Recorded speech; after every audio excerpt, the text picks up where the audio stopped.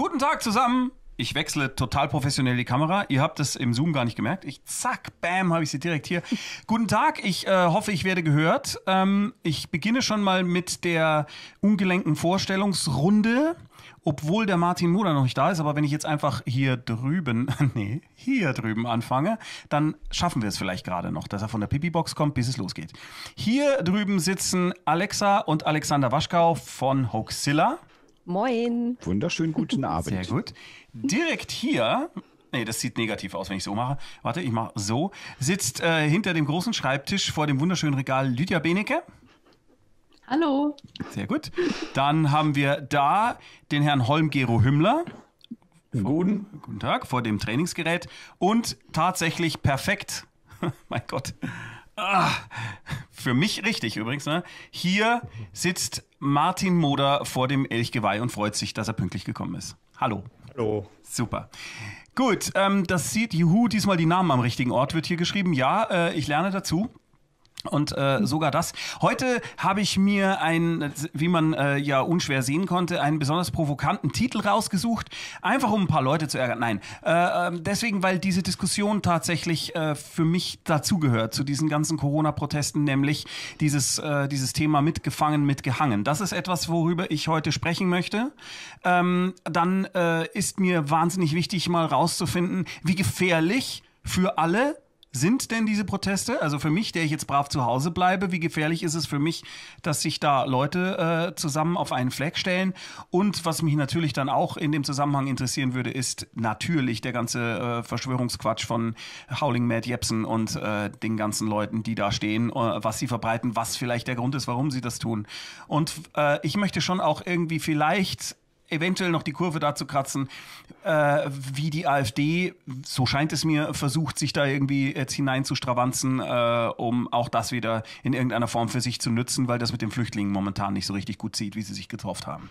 Das sind alles diese Themen, die wir unmöglich in 90 Minuten äh, besprechen können.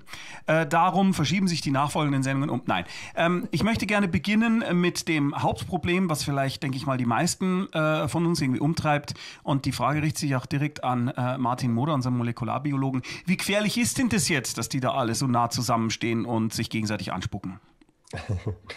Ich glaube, das große Problem ist gar nicht so sehr, dass die sich gegenseitig anspucken, ähm, weil einfach der Faktor draußen im Freien schon mehr und mehr ein entscheidender zu sein scheint. Positiv. Ja, ja, positiv. Ja. Um, es, es ist ja, man hat ja vieles lange Zeit nicht gewusst und man weiß ja noch immer vieles nicht. Ja. Zum Beispiel, uh, was man sehr lang spekulativ war, was noch immer relativ spekulativ ist, ist jetzt die Frage, welche Rolle eigentlich Aerosol bei der Übertragung spielt. Also diese ganz feinen Tröpfchen, die nicht wie die größeren über 5 Mikrometer Tröpfchen da einfach zu Boden fallen, sondern minutenlang, 12, 13 Minuten in der Luft hängen. Um, und da sieht es immer mehr danach aus, dass die eine große Rolle spielen, aber deren Faktor fällt eigentlich im Freien nahezu weg, weil sie das sofort so verdünnt. Ähm, und das ist vermutlich einer der Gründe, warum bei diesen wenigen Fallverfolgungsstudien, die es gibt, äh, man eigentlich fast immer nur die großen Ansteckungsevents in geschlossenen Räumen findet. Ich, äh, es also, tut mir total leid, dass ich diesen ja. wunderschönen Satz, der jetzt auch mit einem Punkt endete und der grammatikalisch so perfekt war, trotzdem noch mal ein Stück zurückspulen muss zum Aerosol, weil äh, ich auch das nur durch Zufall äh, irgendwie mal irgendwo erfahren habe, weil ich einen äh, Zerstäuber habe für Salzwasser. Äh, bitte den Unterschied hätte ich gerne noch mal ah, zwischen ah, okay. Tröpfchen und ja. Aerosol einmal erklärt. Also es gibt einen Übertragungsweg, da waren sie vor Anfang an alle einig, dass der eine zentrale Rolle spielt. Und zwar, wenn ich huste, wenn ich nies, dann habe ich größere Tröpfchen äh, von Spucke, diverse Körperflüssigkeiten eigentlich, ähm, die aber relativ schnell zu Boden fallen in ein, zwei Minuten. Und demnach wäre dann die Gefahr auch eher gebannt, wenn jemand wo niest und ich gehe da kurz aus dem Weg und komme dann wieder zurück. Die fallen auch in einen Meter von ein, zwei Meter, äh, in einen Radius von ein, zwei Meter fallen die zu Boden und sind relativ flott. Okay, das heißt, wenn jetzt jemand niest und ich gehe da hin und ich lecke den Boden nicht ab, ist die Wahrscheinlichkeit gering, dass mir da irgendwas passiert. Genau, wenn es jetzt okay. nur nach den Tröpfchen ging. Nur nach den Tröpfchen. Ja? Und, und die, die, weil es immer heißt, Hände waschen so viel, also diese, diese Ansteckungsgefahr über Oberflächenkontamination, die scheint eh sehr gering zu sein. Schmierinfektion, also wenn ich jetzt genau. einen, äh, einen, Einkaufswagen zum Beispiel vor mir herschiebe oder sowas. Genau, also da könnte man wahrscheinlich rechnen mit, wenn es sehr hoch kommt, dass vielleicht 10% aller Infektionen über sowas stattfinden. Ah. Aber in Wirklichkeit dürfte Händewaschen jetzt gar nicht so der entscheidende Faktor sein. Aber was ein großer Unsicherheitsfaktor war und nach wie vor schon auch ist, wenn es jetzt um konkrete Zahlen geht, ist, was betrifft diese ganz feinen Tröpfchen. Also auch wenn ich spreche, wenn ich einfach nur atme zum Teil schon, dann sende ich auch Tröpfchen aus, die aber, und man zieht da oft eine Grenze bei äh, 5 oder 10 Mikrometer, wo man sagt, wenn die so klein sind, ja, dann hast du andere Effekte als nur die Gravitation, die bedeutsam sind, dann hast du auch den Auftrieb und die können sehr, sehr lang in der Luft bleiben. Eine Viertelstunde ohne größere Probleme. An, mehr oder weniger an Ort und Stelle hier, wenn es nicht windet? Oder wie, wie stelle ich mir das vor? Wenn es nicht windig ist, können die ziemlich stabil im Raum stehen. Ja, können sich aber auch verteilen im Laufe der Zeit. Und da hat man nicht wirklich gewusst, wie ansteckend die sind. Weil das ist, oder ob die überhaupt ansteckend sind. Das ist auch gar nicht so leicht zu testen. Äh, die meisten Testverfahren, die man da macht, PCR, die testen ja nur, ist Virus-Erbinformation vorhanden, aber nicht, ob die jetzt noch aktiv ist und vor allem nicht, ob die Menge von Viren in diesen winzig kleinen Tröpfchen überhaupt ausreichen kann, um jemanden erkranken zu lassen. Da reicht nämlich nicht ein Virus, da brauche ich schon eine gewisse Virenlast, sagt man. Eine und Virenlast. jetzt kommen halt immer eine Virenlast, ja, also eine größere Anzahl an Viren. Und jetzt kommen halt immer mehr Daten insgesamt, die zeigen, dass schon dieses Aerosol, also so nennt man diese kleinen Tröpfchen, dass die schon auch eine Bedeutung bei der Übertragung spielen können. Aber draußen, ähm, sagst du jetzt, um wieder zurückzukommen zu dem anderen Punkt. Sag nicht ich, da sind sich eigentlich alle einig, dass, dass ah. der, der, der Faktor Aerosol im Freien eher wegfällt, weil sie das so schnell verdünnt auf eine Menge, ja. wo man sagen kann, davon ist echt nicht mehr damit zu rechnen, dass, dass eine Infektionsgefahr davon ausgeht. Aber im geschlossenen Raum, da könnte das, äh, das, das Aerosol wirklich für eine, für eine größere ähm, aber, äh, aber man muss genau. natürlich trotzdem sagen, wenn sie Leute jetzt Gesicht, Gesicht gegenüberstehen und dann auch noch schreien, nie damit der Regierung oder weiß Gott, was die da schreien, ich war ja nie dort, äh, dann ist natürlich die Tröpfcheninfektion, also die mit den größeren Partikeln, natürlich schon auch von, von enormer Bedeutung. Holm, du hast da was beizutragen, vermutlich, äh, äh, was äh, du aus Amerika aufgeschnappt hast. Gut, also es gibt äh, einige Berichte aus den Vereinigten Staaten, äh, dass äh, möglicherweise es, es äh, Verbreitung über solche Protestveranstaltungen gegeben hat von Viren. Die Dokumentation davon, also die Daten dazu sind aber nicht so hundertprozentig schlüssig. Also man hat auf der einen Seite äh, Daten aus der aus den äh, aus dem äh, der, der, dem Aufenthaltsort von von Handys, dass Leute, die auf diesen Demonstrationen waren, äh, da teilweise von sehr weit hingefahren sind und danach dann eben auch wieder zurückgefahren sind. Das heißt, besteht die Gefahr, dass Leute von äh, einem Teil der USA, in dem äh, das Virus kaum verbreitet ist, äh, irgendwo hinfahren, wo es viel Viren gibt, da andere Leute treffen, die viele Viren äh, mit sich rumtragen und das sozusagen wieder in die Region zurückbringen, aus der sie herkommen. Das ist eine der äh, Ergebnisse, die es davon, davon gibt. Und das andere war, dass man bei Fallverfolgungen, also wenn man Infizierte gefragt hat, äh, wo könnten sie sich denn infiziert haben, ähm, in einer Anzahl von Fällen, äh, auch sozusagen jetzt noch, während es in den USA ja auch einen, einen relativ umfassenden Lockdown gibt in den meisten Staaten, äh, festgestellt hat, dass Leute sagen, sie hätten, also die, ein, die einzig plausible Infektionsmöglichkeit wäre über eine Großveranstaltung gewesen. Und äh, dann äh, da weiß man, welche nicht so Veranstaltungen viele, ja. in der Region zu der Zeit stattgefunden haben. Und das waren eben hauptsächlich solche Proteste, weil viele andere Großveranstaltungen äh, gab es einfach gar nicht mehr. Das heißt, die haben sich dann doch die in irgendeiner Form. dass sich darüber äh, die Infektionen, also tatsächlich über Proteste gegen die Lockdown-Maßnahmen äh, auch Infektionen ausgebreitet haben. Ganz genau äh, im Einzelfall nachvollziehen kann man es aber nicht. Ja, hier schreibt im Chat gerade Yoshi äh, 1510, wer kennt es nicht, durchs halbe Land fahren, um gegen Corona zu demonstrieren. Ja. ich, ich, ich hätte noch mal eine Frage an, ja. an Martin insbesondere. Ähm, die aber ist es schon so, dass die Wahrscheinlichkeit, wenn ich mit mehr Menschen zusammenkomme, unter denen mit höherer Wahrscheinlichkeit unter Umständen jemand das Virus hat, ich ja auch eine höhere, äh, äh höheres Risiko habe, mich zu infizieren, Martin. Ne? Also man kann es immer noch weiter steigern. Also mit vielen Leuten im geschlossenen Raum gefährlich äh, oder höchst gefährlich, aber mit vielen Leuten äh, unter freiem Himmel eng beieinander immer noch gefährlich und deswegen auch mal diese Zwei-Meter-Geschichte, oder? Ja, ja, mit Sicherheit. Also ich möchte es nicht so tun, als würde ich da jetzt sagen, äh, im Freien kann man ruhig demonstrieren, eng an eng. Überhaupt nicht, überhaupt mhm. nicht. Ähm, es ist nur, dass ich mir weniger, sagen wir so, ich würde mir weniger Sorgen machen, im Freien in einer Menschenmenge, die jetzt vielleicht nicht ganz eng aneinander pickt, zu marschieren, mhm. als in einem Theatersaal eine Stunde zu sitzen, wo zwei Plätze frei sind zwischen mir. Ah. Aber das, weißt du, das ist jetzt natürlich ein, ein, ein, ein Semi-Bauchgefühl, das sich aus sehr vielen Studien, die ich überflogen habe, zusammensetzt. Das Problem ist halt wirklich, du hast im Moment äh, eine ungeheure Anzahl von Studien, die veröffentlicht werden, viel mehr als irgendein Mensch lesen kann. Die mhm. meisten davon, ich weiß nicht, ob die meisten sind, aber ein sehr großer Teil davon wurde nicht peer-reviewed, also mhm. gar nicht gut geheißen von der Fachgemeinschaft, weil die Zeit einfach nicht da ist. Das ist ja ein Prozess, der oft Monate mhm. dauert und sehr mühsam ist. Ähm, das heißt, es ist sehr schwer, jetzt die einzelne Untersuchung einzuordnen. Aber ich erinnere mich, ich habe eine gesehen aus China, da haben sie Fallverfolgung gemacht von von über 300 Fällen, wo sie die Infektionsereignisse tracken konnten. Mhm. Und ich glaube, nicht einmal bei einer Handvoll davon äh, fand die Infektion im Freien statt. Also praktisch alle in geschlossenen Räumen. Mhm. Ähm, wobei ich da auch, das war noch nicht ja. peer-reviewed, schwer einschätzen kann, wie aussagekräftig diese Arbeit jetzt zum Beispiel war. Nun, wenn sich das also auch bei, bei Arbeiten, die nicht peer-reviewed sind, also was bedeutet, dass andere Wissenschaftler da noch nicht vollends draufgeschaut und das für richtig befunden haben. Ne? Das ist genau. ja das, das ja. worüber wir immer wieder sprechen hier. Genau. Mhm. Äh, Alexa, äh, es wirkt so ein bisschen, als wäre das das, wo du äh, jedes Mal. äh, ja, genau. Lass uns das, äh, bitte erklärst doch noch mal einmal kurz auch für die neu mhm. dazugekommenen, was dieses Peer Review bedeutet. Ich? Also, Nein, Alex? Die, die, Alex, die darf so, das, weil okay, die da immer okay.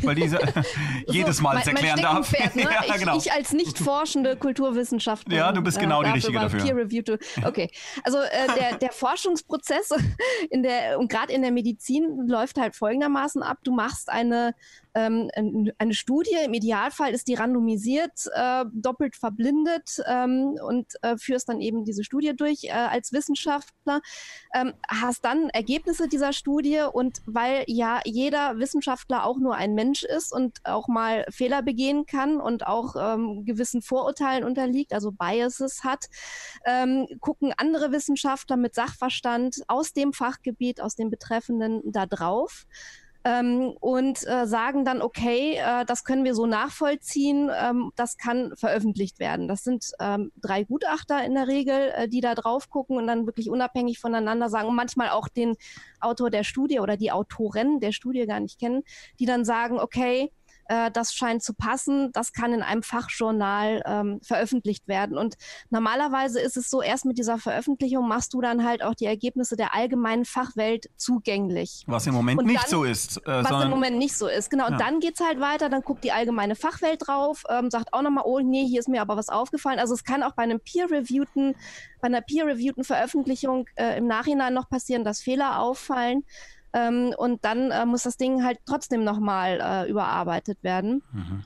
Ähm, zum Beispiel die, diese berühmte äh, unsägliche Wakefield-Studie äh, ist in The Lancet veröffentlicht worden. die Impfgegner, auf die sich die Impfgegner jetzt immer beziehen. Genau, ist peer-reviewed äh, gewesen und war trotzdem komplett gekauft, äh, erstunken und erlogen und falsch.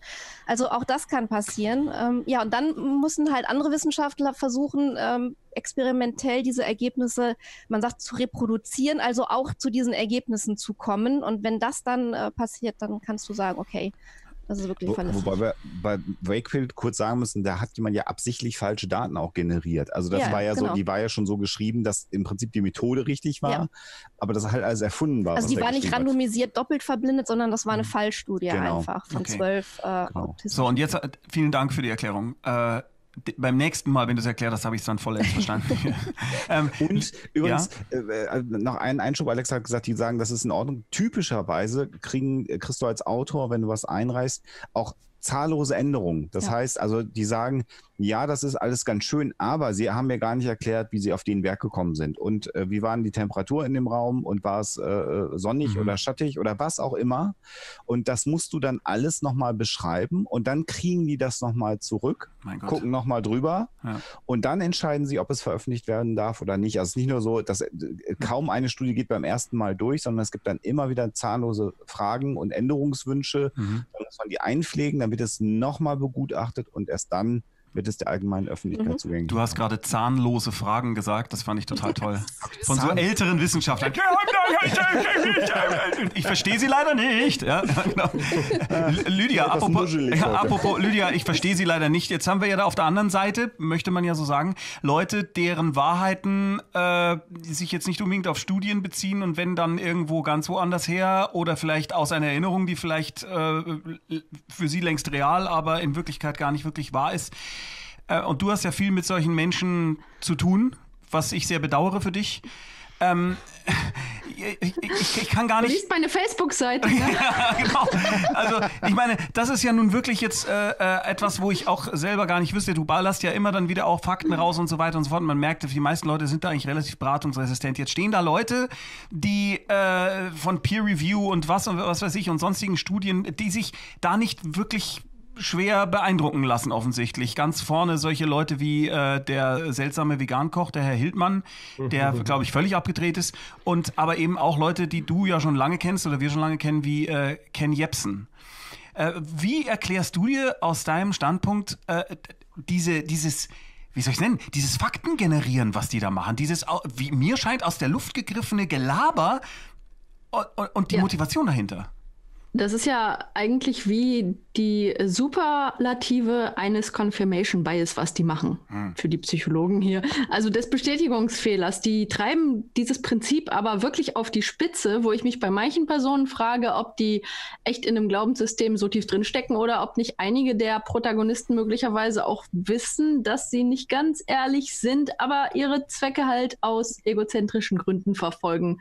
Den Verdacht habe ich beim einen oder anderen, der das da sehr Jepsen auf die Spitze treibt. Den habe ich bei Jepsen die ganze Zeit äh, mhm. ohne dass ich es belegen könnte, äh, dass ich mir denke, er muss irgendeine andere Motivation haben als tatsächliche Überzeugung, weil äh, also sondern einfach nur stattfinden zum Beispiel, äh, sich selbst geil finden, auf Bühnen stehen können, in eine Kamera reden, weil inhaltlich der wirkt gar nicht so dumm. vom Prinzip immer so ein bisschen auch an Prinzipien, die man zum Beispiel von Sektenführern kennt. Ja, genau. Das ja. auch einige, die sicherlich wissen, dass sie durchaus nicht ganz ehrlich sind, um es mal ganz vorsichtig zu sagen, Sehr aber die, die Machtgeilheit, die ist dann stärker und ich glaube, in den jetzigen Zeiten sind Menschen, die so ticken, die können das super leicht nutzen. Die brauchen sich nur irgendwo einen YouTube-Kanal hinstellen und die emotionalen Mechanismen nutzen, die halt die entsprechenden Personen nutzen und kriegen in 0, nix Aufmerksamkeit. Menschen, die sonst nie Aufmerksamkeit kriegen würden, können jetzt unglaublich leicht welche kriegen, wenn sie einfach Emotionen schüren. Und ich glaube schon, dass der eine oder andere auch weiß, dass er da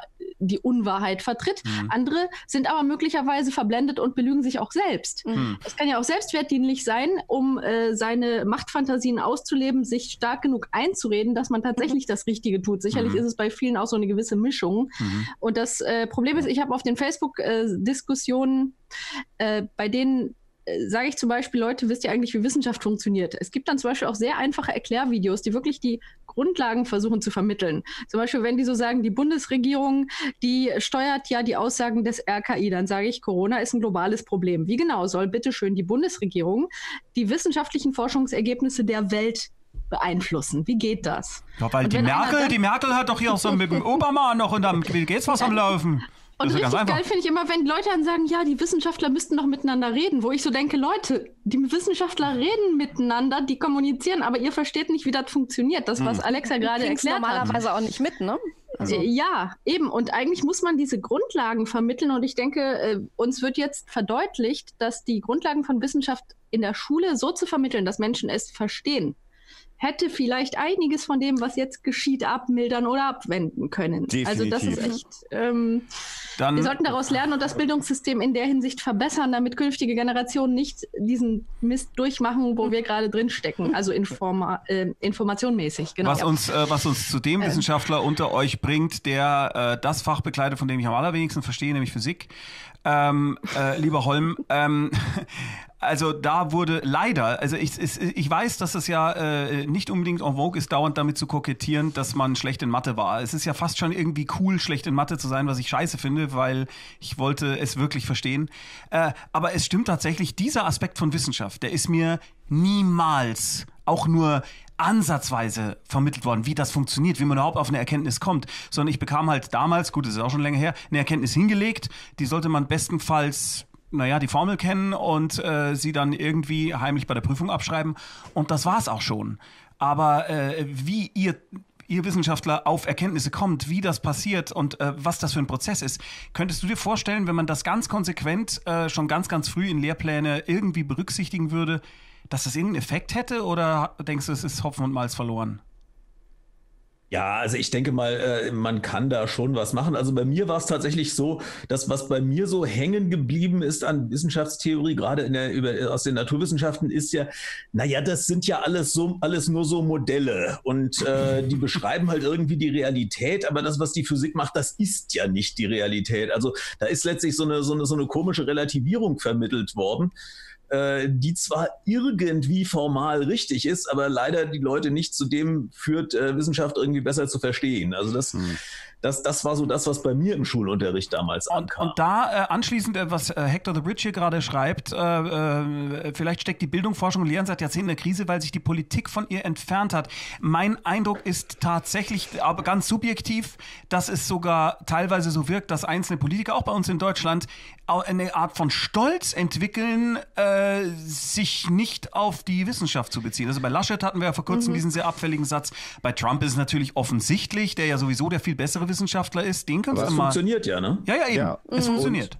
Und es ist halt auch dadurch mhm. zu erklären, dass wir natürlich auch gerne die Welt verstehen wollen. Und das ist ja sehr kränkend, wenn du dir eingestehen musst, dass du Teile der Welt nicht verstehst. Weil du, mhm. du im Grunde genommen weißt du ja, wie die Welt funktioniert, weil du lebst ja jeden Tag in der Welt. Und jetzt passieren Ereignisse, die kann ich mir mit meinem Wissen nicht mehr erklären. Aber da gibt es irgendeinen so Professor und der erklärt mir das jetzt gerade. Und das ist für mich nicht eingängig, was der mir erklärt, weil ich finde das nicht gut. Confirmation Bias auch wieder. Und dann suche ich mir da selber meine Erklärung raus, weil ich möchte ja nicht gekränkt werden dadurch, dass ich was nicht verstehe, weil ich bin ja ein kluger Mensch. Oder, oder ich höre halt den Leuten zu, die Erklärungen bieten, die so einfach sind, Exakt. dass ich sie dann doch verstehe. Oder suche mir die dann ja, entsprechend, genau. genau. Und mhm. suche mir die dann raus, die das erzählen, was ich ja sowieso schon weiß. Und dann wird es gefährlich. Und äh, was dann noch hinzukommt, Julia, das könntest du ja auch sehr schön wieder ausführen, mhm. ist natürlich, wenn Menschen so gewisse narzisstische Persönlichkeitsanteile haben und dann auch wirklich richtig gekränkt sind, ja. wenn sie was nicht verstehen oder vielleicht merken, ich bin gar nicht so klug, wie ich eigentlich weiß, dass ich es bin. Und dann sagt man halt, äh, ich will das nicht akzeptieren. Ja. Ich, ich wollte sagen, es ist ein fließender Übergang bei ja. Persönlichkeitsausprägungen von äh, milden narzisstischen Zügen bis hin zu einer wirklich starken Störung, wo eine Person wirklich gefangen ist in ihren Mustern des Fühlens, Denkens und Handelns und auch dann gar keine Kritik annehmen kann, ist halt ein fließender Übergang. Aber umso narzisstischer jemand ist, umso schwieriger ist es für diese Person einzusehen, dass sie nicht alles weiß und nicht alles kann und besonders, dass sie vielleicht auch mal falsch liegt. Aber auch nicht narzisstische Personen haben natürlich ein äh, Problem damit äh, einzugestehen, wenn sie einen Fehler machen. Wenn man zum Beispiel was teilt, so ein bisschen naiv, also von irgendeinem dieser Schwurbler und jemand kommentiert drunter hier äh, Mimikama und da wird das widerlegt dann bist du natürlich zum Beispiel vor den Mitlesern auf deiner Facebook-Seite dann so, oh, du hast was Doofes gepostet, ist, auch ist wenn du es gar nicht besser wusstest. Genau, ja. Ich habe auch schon irgendwie falsche, weiß ich nicht, Zitate äh, geteilt oder, oder sonst irgendwas. Und wenn dann einer schreibt, so die Hoax Mistress hat da aber gerade einen Hoax geteilt, das ist total peinlich. Also das, da musst du auch erstmal dann äh, irgendwie dazu stehen können und sagen, so, ich, ich lösche das jetzt auch nicht, sondern ja. ich lasse das jetzt mit dem mhm. Kommentar äh, so im Netz stehen und dann sollen doch alle das nachlesen können. Hm. Ja. Und zu sagen, dass man Fehler gemacht hat, ist die eigentliche Stärke, erfordert aber auch sehr viel psychologische Stärke. Und äh, das muss man als Mensch zunächst mal verstehen, dass wenn jemand dir sagt, du hast einen Fehler gemacht, dann ähm, zeugt, erzeugt das Scham. Scham fühlt sich scheiße an, also haben wir die Tendenz dazu, erstmal zu sagen, nee, habe ich nicht.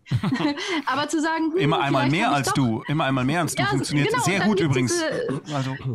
und, und dann aber zu sagen, okay, eigentlich wäre ich vielleicht deswegen jetzt jede Kritik ab, weil es sich schlecht anfühlt aber die richtige äh, Art, damit umzugehen wäre, sich zu regulieren und zu sagen, okay, ich schäme mich jetzt, aber ich sollte vielleicht einfach meinen Fehler eingestehen und das zeugt ja auch von Größe. Man kann also daraus auch was Gutes für sich ziehen, aber dafür müsste man reflektieren, warum man direkt in die emotionale Abwehr geht. Und deswegen sollte jeder Mensch diesen Mechanismus kennen, weil jeder Mensch hat diesen Mechanismus. Mhm. Bei Narzissten ist er nur etwas stärker als bei anderen mhm. Menschen. Ja, nun stehen aber jetzt da wie, wie, wie viel waren das in Stuttgart? Äh, weiß jemand Zahlen? Ich weiß es nicht.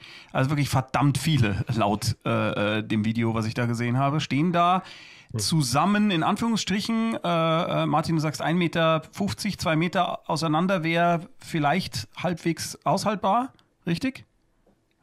Ja, ist sicher keine schlechte Grundvoraussetzung. Okay. Haben teilweise Mundschutz an, teilweise unterhalb der Nase und äh, äh, geifern äh, jetzt von Bühnen herunter oder äh, auf die sogenannte Lügenpresse herunter.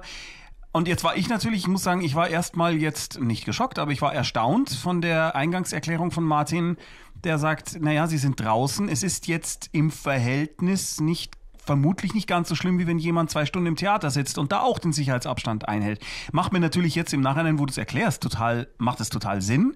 Aber ich habe mich doch jetzt zwei Wochen lang so schön aufgeregt über die. Was mache ich denn jetzt? Naja, ich würde mich darüber aufregen, was sie sagen und was sie fordern und, und, und nicht ah ja, nur so sehr, das. dass sie viel zu eng.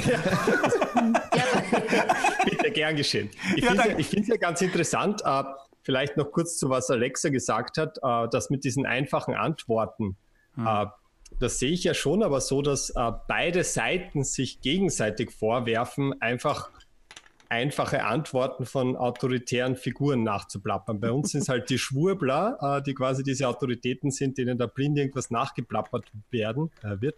Aus deren Sicht sind es halt wir, die blind das nachplappern, was ihnen die Regierung vorsetzt, was ihnen die Virologen vorsetzen und dass dieses Argument eigentlich auf Gegenseitigkeit beruht. Wobei ich natürlich weiß, dass wir recht haben und nicht. Aber, aber dennoch, äh, ich, ich, ich sehe beide Seiten äh, einander vorwerfen, dass man die Antworten einfach frisst, die man vorgelegt bekommt. Und das ist, glaube ich, in der Natur der Sache, wenn du ein Thema hast, das in Wirklichkeit so komplex ist, ähm, dass nicht einmal ich als Molekularbiologe da äh, den Überblick habe, den ich gern hätte, sondern dass du wirklich schon sagen musst, da muss Virologe sein, der an diesem Virus geforscht hat oder Epidemiologe, damit du, damit du wirklich sattelfest bist. Weil im Endeffekt, im Endeffekt ist doch das, was wir, was wir alle eigentlich überwiegend machen, ist zu überlegen, wer ist am kompetentesten mhm. und dann sagen, okay, das wird dann wohl so stimmen. Und das Der ist Punkt halt ist aber, dass wir, dass wir Mittel haben, mit denen wir begründen, warum ja. wir mhm. äh, ist, eben unseren Quellen vertrauen. Und ja. weil wir eben, da sind wir bei der Diskussion von vorhin, die grundlegenden Prinzipien von Wissenschaft verstehen, mhm. können wir darauf basierend erklären, warum wir, selbst wenn keiner von uns ein Virologe mhm. ist, zumindest die Kompetenz haben zu erkennen, welche Aussagen ähm, mehr Gewicht haben als andere. Und die anderen, äh, die Gegenseite, die sagt im Prinzip, Wissenschaftsgläubigkeit fand ich auch immer interessant. Mhm. Gläubigkeit mhm. heißt ja, es sei wie eine Religion. Es gäbe eine Autorität, die unhinterfragt Dinge aussagt. Aber Wissenschaft ist ja das Gegenteil davon. Ja. Sie ist ja die ganze Zeit im Wandel, sie wird geprüft. Es werden auch Dinge als falsch erwiesen. Mhm. Aber man muss das Prinzip verstehen, um zu verstehen, dass es eben das Gegenteil von Glauben ist. Genau. Das, ist, das zu vermitteln ich, ist das Kernproblem. Was glaubst du? Im Prinzip, Im Prinzip sehen wir ja hier Wissenschaft mal in einer Weise an der Arbeit, die man sonst gar nicht sieht. Mhm. Also ja. wir sehen zum einen den, den, Erkenntnisprozess von Wissenschaft. Wir sehen, wie, wie neue äh, Erkenntnisse jetzt kommen und wie erstmal gesagt worden ist, naja, ähm, also wir, wir, wir wissen eigentlich gar nichts, aber wir nutzen erstmal das Instrumentarium, was man in der Seuchenkontrolle eben hat und machen einfach erstmal alles dicht. Damit ist sozusagen so, und dann fangen wir mal langsam an auszuprobieren, was geht denn noch, was geht nicht. Dann gibt es hier eine Studie, die sagt, naja, äh, die Schmierinfektionen sind es irgendwie gar nicht. Dann kommt da eine Studie, die sagt, oh ja, die Aerosole. Äh, dann kommt eine andere Studie, die sagt, nö, bei uns waren gar keine so, waren, waren die Aerosole, haben gar keine so große Rolle gespielt. Also dieser, dieser Austausch und dieser, dieser langsame, widersprüchliche Erkenntnisprozess der Wissenschaft wird transparent, was auch transparent ist, wenn man mal hinhört, wie, wie sowas läuft ist äh, das Expertentum, das nämlich auch ein, also die allermeisten Aussagen, die momentan auch das vom RKI kommen und die wichtig sind, sind ja nicht von Virologen, die sind von Epidemiologen. Ja. Äh, weil da, was ist der Unterschied? Stopp! Was ist der Unterschied zwischen den beiden? Bitte. Naja, ein, ein Virologe beschäftigt sich mit dem Virus und seinen Eigenschaften äh, im Normalfall halt im, im Labor in der Schale, gegebenenfalls noch in einzelnen Patienten. Äh, der Epidemiologe beschäftigt sich damit, äh, wie sich eine Krankheit ausbreitet. Und der Epidemiologe ist im Zweifelsfall derjenige, der mir beantworten kann, kann ich die Kindergärten wieder aufmachen oder nicht, weil der sich anschaut, äh, da wo Kindergärten offen waren, wie viele Leute haben denn Kinder angesteckt und wie viele Leute haben sich von Kindern angesteckt. Und was macht der Molekular? Der aus dem Labor voraus gar nicht beurteilen. Und der, der kann höchstens sagen, naja, das Kind hat ein bisschen mehr oder ein bisschen weniger Viren im Rachen als ein Erwachsener. Was macht dann der Molekularbiologe? Der ist eigentlich der Allrounder, also der beschäftigt sich generell mit all den Dingen, die so klein sind in Lebewesen, aber auch Viren, dass wir sie nicht sehen können. Das heißt, äh, für ah. dich ist das alles relevant, also die beiden äh, Richtungen. Und äh, du weißt von allem, wie ist das jetzt, wenn du sagst, ich weiß von allem ein bisschen was, oder ist es schon so, dass du sagst, ich habe eigentlich einen relativ umfassenden Blick auf Nein, sowohl man, die Ansteckung man, als auch? Man, man wird ja doch ein Fachidiot. Also ich möchte nicht hm. so tun, als hätte ich jemals mit Coronaviren gearbeitet. Ja. Ich kenne mich einigermaßen aus mit Viren, weil ich selber während meiner Doktorarbeit Viren hergestellt habe, um die für meine Zwecke zu missbrauchen. gute okay. Sachen, gute Sachen. Ja, die, die guten Viren. Aber es waren wirklich gute Viren. Was sind denn gut? Entschuldige, ich muss es fragen. Ich weiß, hat ja, nichts wir, wir, Sag's kurz, bitte. Wir, wir Molekularbiologen, wir lieben ja Viren. Wir verwenden die ständig als Werkzeug. Ich wollte menschliche Gene ausschalten und habe dafür eine Sammlung an Viren hergestellt, wo jedes Virus ein anderes menschliches Gen inaktiviert. Und so haben wir eine seltene Erbkrankheit untersucht. Also Viren so, sind geil. Das hättest du mal am Anfang sagen sollen. Ja, aber echt. so ein bisschen. Ja, ich, ich, muss, ich muss da ganz kurz, Moment, das ist genau der Moment dafür. wow. Das freut Sehr mich. Schön. Ist das nicht toll? Ja. Das ist der Hammer. Popschutz, also es ist erstens ein Popschutz, ja, zweitens mal hilft es äh, gegen äh, äh, irrlichternde Molekularbiologen im Raum. Und äh, ja, also vielen Dank an Heike Rehm, die mir äh, die geschickt hat, äh, die ich von diversen Conventions kenne. Und es ist ganz fantastisch. Ich habe ein Der paar Hammer. von ihr äh, bekommen und habe sie in der Firma verteilt. Man kann sie leider nicht kaufen, weder die Heike noch die Maske. Aber äh, ja, ich freue mich, dass ich sie habe und wollte mich auf diesem Weg tausendmal dafür bedanken. Und jetzt wird es mir gerade ein bisschen warm. Aber man kann sie auch einfach ein Stück Brot in den Mund stecken. Und dann kommt auch schon die nächste Frage. Ähm. Denn, nein, das muss ich wissen, weil wir gerade bei Maske waren helfen die denn jetzt? Wenn ich auf so einer, auf so einer Demo bin und ich habe die da an, ist das jetzt gut oder schlecht oder egal oder äh, atme ich meine eigene Scheiße wieder ein und das Aerosol geht sowieso durch? Was denn jetzt? Wer will antworten und bitte äh, antwortet so, dass ich danach besser schlafen kann? Wer kann das? Ja gut, also es, es, gibt diese, äh, es gibt die schöne, äh, den, den, den, den, den, den, den schönen Vergleich mit, äh, wenn, wenn, wenn einer in der, an der Öffentlichkeit plötzlich äh, Wasser lassen muss und äh, hm. äh, pinkelt er jemand anderen an oder nicht, ja, wenn er selber eine Hose anhat, dann führt das in der Regel dazu, dass er die anderen nicht anpinkelt. Ich glaube, das ist der entscheidende Punkt. Also äh, werden wir, also wir, wir, nein, wir schützen uns über diese Maske nicht vor einer Infektion von anderem. Insofern äh, gegen den Martin nutzt dir das gar nichts, wenn du dir die Maske aus, aufsetzt, aber denen um dich rum nutzt es in, in, gegebenenfalls was, äh, weil doch relativ viel von dem, zumindest mal von dem groben Tröpfchen, äh, ich würde argumentieren, einfach dadurch, dass der, der, der Stoff, der ja Feuchtigkeit absorbiert, relativ nah vor dem Mund, ist wahrscheinlich auch ein nicht ganz unerheblicher Teil des Aerosols in der einen oder anderen Form in diesem Stoff äh, äh verbleibt. Das heißt, wenn die Leute, die jetzt da draußen demonstrieren, zwei Meter Abstand von haben und alle eine Maske aufhaben und sich im Freien befinden, fällt also meine Erregung nicht wie ein Kartenhaus in sich zusammen, aber das Kartenhaus hat verliert so die ersten zwei von zehn Stockwerken an das ist, äh, Erregungspotenzial. Das ist nicht mehr so groß, ja. Ja. Das, das schmettert mich nieder. Meine ganze Wut fließt gerade durch die Hose, weil die habe ich an. Ja, nee. Lasst uns, lasst uns dann kurz was zu den Masken und der Schädlichkeit von Masken nochmal kurz sagen, weil das ja auch mm. immer wieder aufkommt in den mm. Argumentationen.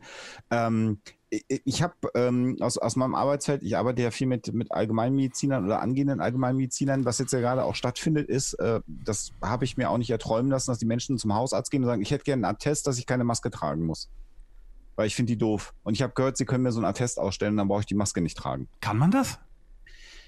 Es gibt bestimmte Patientengruppen, mhm. die mhm. so eine Maske nicht tragen sollen. Das sind Menschen mit massivsten Lungeneinschränkungen, zum Beispiel Menschen, die Lungenkrebs haben, die zum Beispiel nur mhm. einen Lungenflügel haben und der arbeitet auch nur noch ein paar Prozent. Dann kann es unter Umständen sinnvoll sein, äh, keine Maske zu tragen. Allerdings muss man dazu sagen, dass diese Menschen meist auch keine Menschen mehr sind, die alleine groß in der Öffentlichkeit unterwegs sind. Punkt eins. Punkt zwei, die könnten immer noch äh, ein Gesichtsvisier tragen, also dieses mhm. Plexiglas-Ding, mhm. mhm. weil das dann direkt nicht die, die Atemwege äh, blockiert. Mhm. Und der dritte Punkt ist, ähm, wenn man denn so einen Attest auch hat, äh, das ist übrigens ganz witzig, so rein rechtlich gesehen im Infektionsschutzgesetz, zumindest in Deutschland ist es so, ähm, dass der Busfahrer einen zum Beispiel rausschmeißen kann. Weil dann hat man zwar einen Attest okay. und dann sagt er, ja, aber ich nehme sie dann trotzdem nicht mit, dann müssen sie halt ein Taxi nehmen oder mit dem Fahrrad oder zu Fuß gehen. Okay. Also das sind die Risiken dabei. Was sich dahinter ja verbirgt, sind die Gerüchte, dass man Stickstoff einatmen würde, weil man das in der mhm. Atemluft hat, dass man so viel CO2 ausatmet, und das wissen wir ja, dass das total schädlich ist, CO2, dass man am Ende hinter dieser Maske erstickt. Ja, das ist ja, äh, hast du noch nicht gelesen? Ist doch, doch, äh, ich glaube, äh, ist da nicht auch mein lieber Kollege Wiegald nur zum Teil äh, einem ja, Hoax aufgesessen, den er dann selber wieder korrigiert hat. Ja, genau. genau. Mhm. Und was man halt sagen muss, ist, ähm, äh, wenn das so wäre, würden wir wahrscheinlich äh, Tausende von toten Ärzten, Krankenschwestern und Krankenhäusern erstmal haben. Punkt eins, weil die tragen das so oder so sehr, sehr viel und sehr, sehr lange in diesen Einrichtungen. Haben wir ja nicht. Äh, Punkt zwei ist, dass wir gar nicht so viel CO2 ausatmen, wie wir meinen, dass wir ausatmen. So ungefähr zehn Prozent unserer Atemluft, die wieder rauskommt aus uns, enthält CO2. Der Rest ist immer noch Sauerstoff und andere äh, Gase, die so in der Luft sind, weil unsere Lunge gar nicht 100 Prozent des Sauerstoffs, den wir einatmen, verarbeiten kann. So sind wir gar nicht ausgelegt.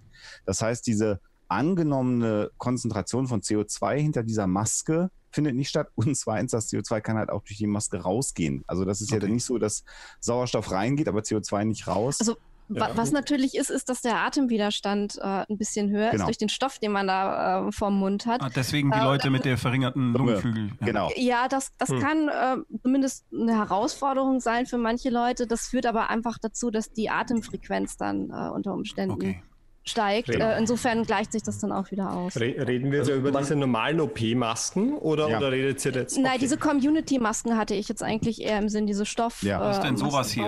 Ah, ja, ja, ja. Genau, ja. genau. genau. Weil da wird, da wird auch oft viel durcheinander gebracht, ja. weil halt, es gibt halt diese genau. FFP2, FFP3, genau. FFP3 die sind Welch? halt wirklich, wirklich anstrengend. Okay. Aber, welche, weiß, meine, denn, meine, welche schlägst du denn vor für draußen zum Einkaufen gehen? Für, für draußen reichen die aus. Ich meine, das Problem ist diese, diese wirklichen Masken, die tatsächlich das Virus rausfiltern. FFP2, äh, bei dir schlage ich natürlich das Brot vor. Dankeschön. Aus Stylegründen. Ich mache mir da immer so ein die, Brot von dran. Ja. die 2 und 3er filtern halt wirklich das Virus raus. Das schützt dich tatsächlich auch selbst aber halte das mal aus, dadurch zu atmen. Sind also das die mit diesem kleinen äh, äh, Filter, der aussieht wie aus irgendeinem Computerspiel? Mit diesem genau. runden Ding. Ja, ja. Also die sind anstrengend. Meine Freundin muss das gerade den halben Tag tragen, weil die halt im Krankenhaus arbeitet als Medizinerin und immer wenn sie Patientenkontakt hat und das ist wirklich, wirklich mhm. anstrengend, das möchte man niemand antun. Also da würde ich auch verstehen, wenn sich die Leute aufregen, mhm. dass sie dass sie beim Einkaufen das tragen müssten, was sie aber eh nicht müssen. Aber so denke ich mir, ich meine, einfach so dieser, dieser OP-Maskenschutz, ja? Mhm. ja. Wenn man körperlich und psychisch gesund ist, sich da aufzuregen, dass das für einen Einkauf unerträglich ist. Wie kann man so verweichlicht sein? Ich meine, das ist, wie kann man das so zelebrieren ja. und sagen, das ist unerträglich? Das muss doch Herrgott was ja. andere Leute aushalten und man sagt, den da mhm. fetzen da für zehn Minuten, das, das, okay. Sehe ich auch so. Ich gar nicht okay. Sehr schön. Jetzt wenigstens können wir uns jetzt wieder ein bisschen aufregen äh, und äh, das war, was mir persönlich wichtig war, weil ich bin so energiegeladen in diese, diesen Talk und dann nimmst du da voll die Luft raus. Insofern ähm, möchte ich wieder zu dem Thema kommen, wo ich mich jetzt äh, trefflich erregen konnte die letzten Tage, nämlich, dass diese Demonstrationen nicht nur von Leuten besucht werden, die offensichtlich wirklich ein, ein Anliegen, ein emotionales Anliegen haben, die auch Probleme haben, deren Job die Bach und, den Bach runtergeht, deren Laden geschlossen wird, die äh, ein Existenzproblem haben tatsächlich oder wie dieser jetzt schon äh, äh, äh viel zitierte Herr in dem ARD Brennpunkt, der weinend vor der Kamera steht und sagt, er kann seine todkranke Frau seit mehreren Wochen nicht besuchen und äh, er ist deswegen hier. Ja, und im Hintergrund jetzt im übertragenen Sinne brüllen dann äh, die Antisemiten von dieser Bühne herunter und äh, Frage an unsere beiden Verschwörungsfachschaftler hier unter mir sitzend. Wie the fuck geht denn das jetzt zusammen? Hm. Was machen die denn jetzt da? Ja, also man hat ähm, ähm, wirklich in den letzten Wochen, Monaten ähm, so eine Entwicklung ähm, gemerkt, wenn man so die Medien verfolgt mhm. und äh, auch die sozialen Medien verfolgt und schaut, wie sich die äh, Bevölkerung äh, verhält. Äh, da war am Anfang, als es alles losging, doch noch wirklich überwiegend ähm, ein Verständnis für die Beschränkungen, die ähm, wir alle dann auf uns nehmen mussten, vorhanden. Also man hat richtig gemerkt, die Leute waren erstmal äh, in der Mehrzahl schockiert davon, wie, wie krass das Ganze doch wirklich ist. Und dann haben sie irgendwie gesagt, ja, okay, dann, dann versuchen wir halt unser Möglichstes, äh, um äh, uns irgendwie gegenseitig zu schützen und Rücksicht zu nehmen. Jetzt mal abgesehen vom Klopapier, da hört der Spaß auf. Ähm, und dann ähm, ähm, war es auch noch so, dass, dass in der Zeit echt so die Wissenschaft so, so, so, so ein leichtes Hoch erlebt hat. Also der, der äh, Podcast von Herrn Drosten war unheimlich beliebt und alle haben ihn irgendwie gehört und sich darüber Gedanken gemacht.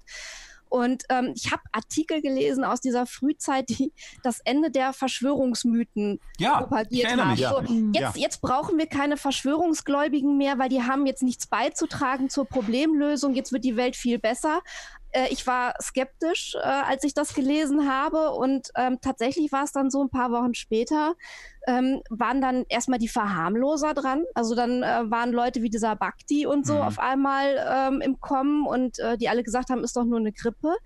Ähm, weil die Leute wahrscheinlich auch wirklich Angst mhm. gekriegt haben und gesagt haben, wir halten das nicht mehr länger aus mit diesen Beschränkungen und wir brauchen jetzt jemanden, der uns sagt, ist doch gar nicht so schlimm und wir können bald wieder.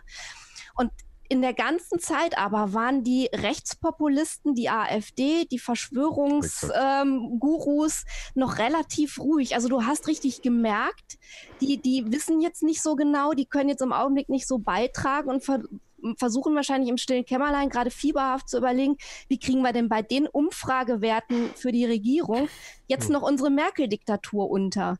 Wie können wir uns denn da wieder dran flanschen? Und ja, da, da haben, wir äh, haben, wir jetzt die Situation, hm. ähm, dass die sich eben wirklich unter dieses, äh, unter die ähm, Bürger mischen, die vielleicht wirklich Angst haben und wirklich wie dieser Mann einfach darunter leiden, dass sie ähm, ihre Verwandten und Lieben nicht sehen können ähm, und die das wirklich schamlos für ihre Zwecke ausnutzen und dann auf diese Demonstrationen gehen und äh, die übelsten ähm, Dinge verbreiten bis hin zu gibt Gates keine Chance ähm, und äh, den Judenstern äh, ja. tragen und, und was für furchtbare Dinge da noch passiert sind. Und das ist halt eine echt üble Entwicklung. Ja, und dann, äh, Lydia, äh, ist es ja völlig, also es ist ja völlig abstrus, dass dann wirklich die die, äh, die, die, die hässliche Großmutter äh, mit den drei Teufelshaaren aller Verschwörungstheorien, weil es nicht die Mutter aller Verschwörungstheorien, es ist hm. wirklich, äh, es ist irgendein ein abnormes Ding, äh, nämlich diese QAnon-Geschichte, fröhliche Urstände zu feiern scheint äh, äh, und sich mitten unter diese äh, Leute mischt. Äh, weiß man denn schon was darüber, wie viel Prozent von den Leuten, die jetzt zum Beispiel da in Stuttgart stehen, sind denn jetzt Leute, die an diesen Bullshit glauben? Weiß man Genau, das, das wäre ja ein wichtiger äh, Forschungsgegenstand, wenn mhm. man wirklich wüsste, ja. wie sich diese Personengruppen zusammensetzen.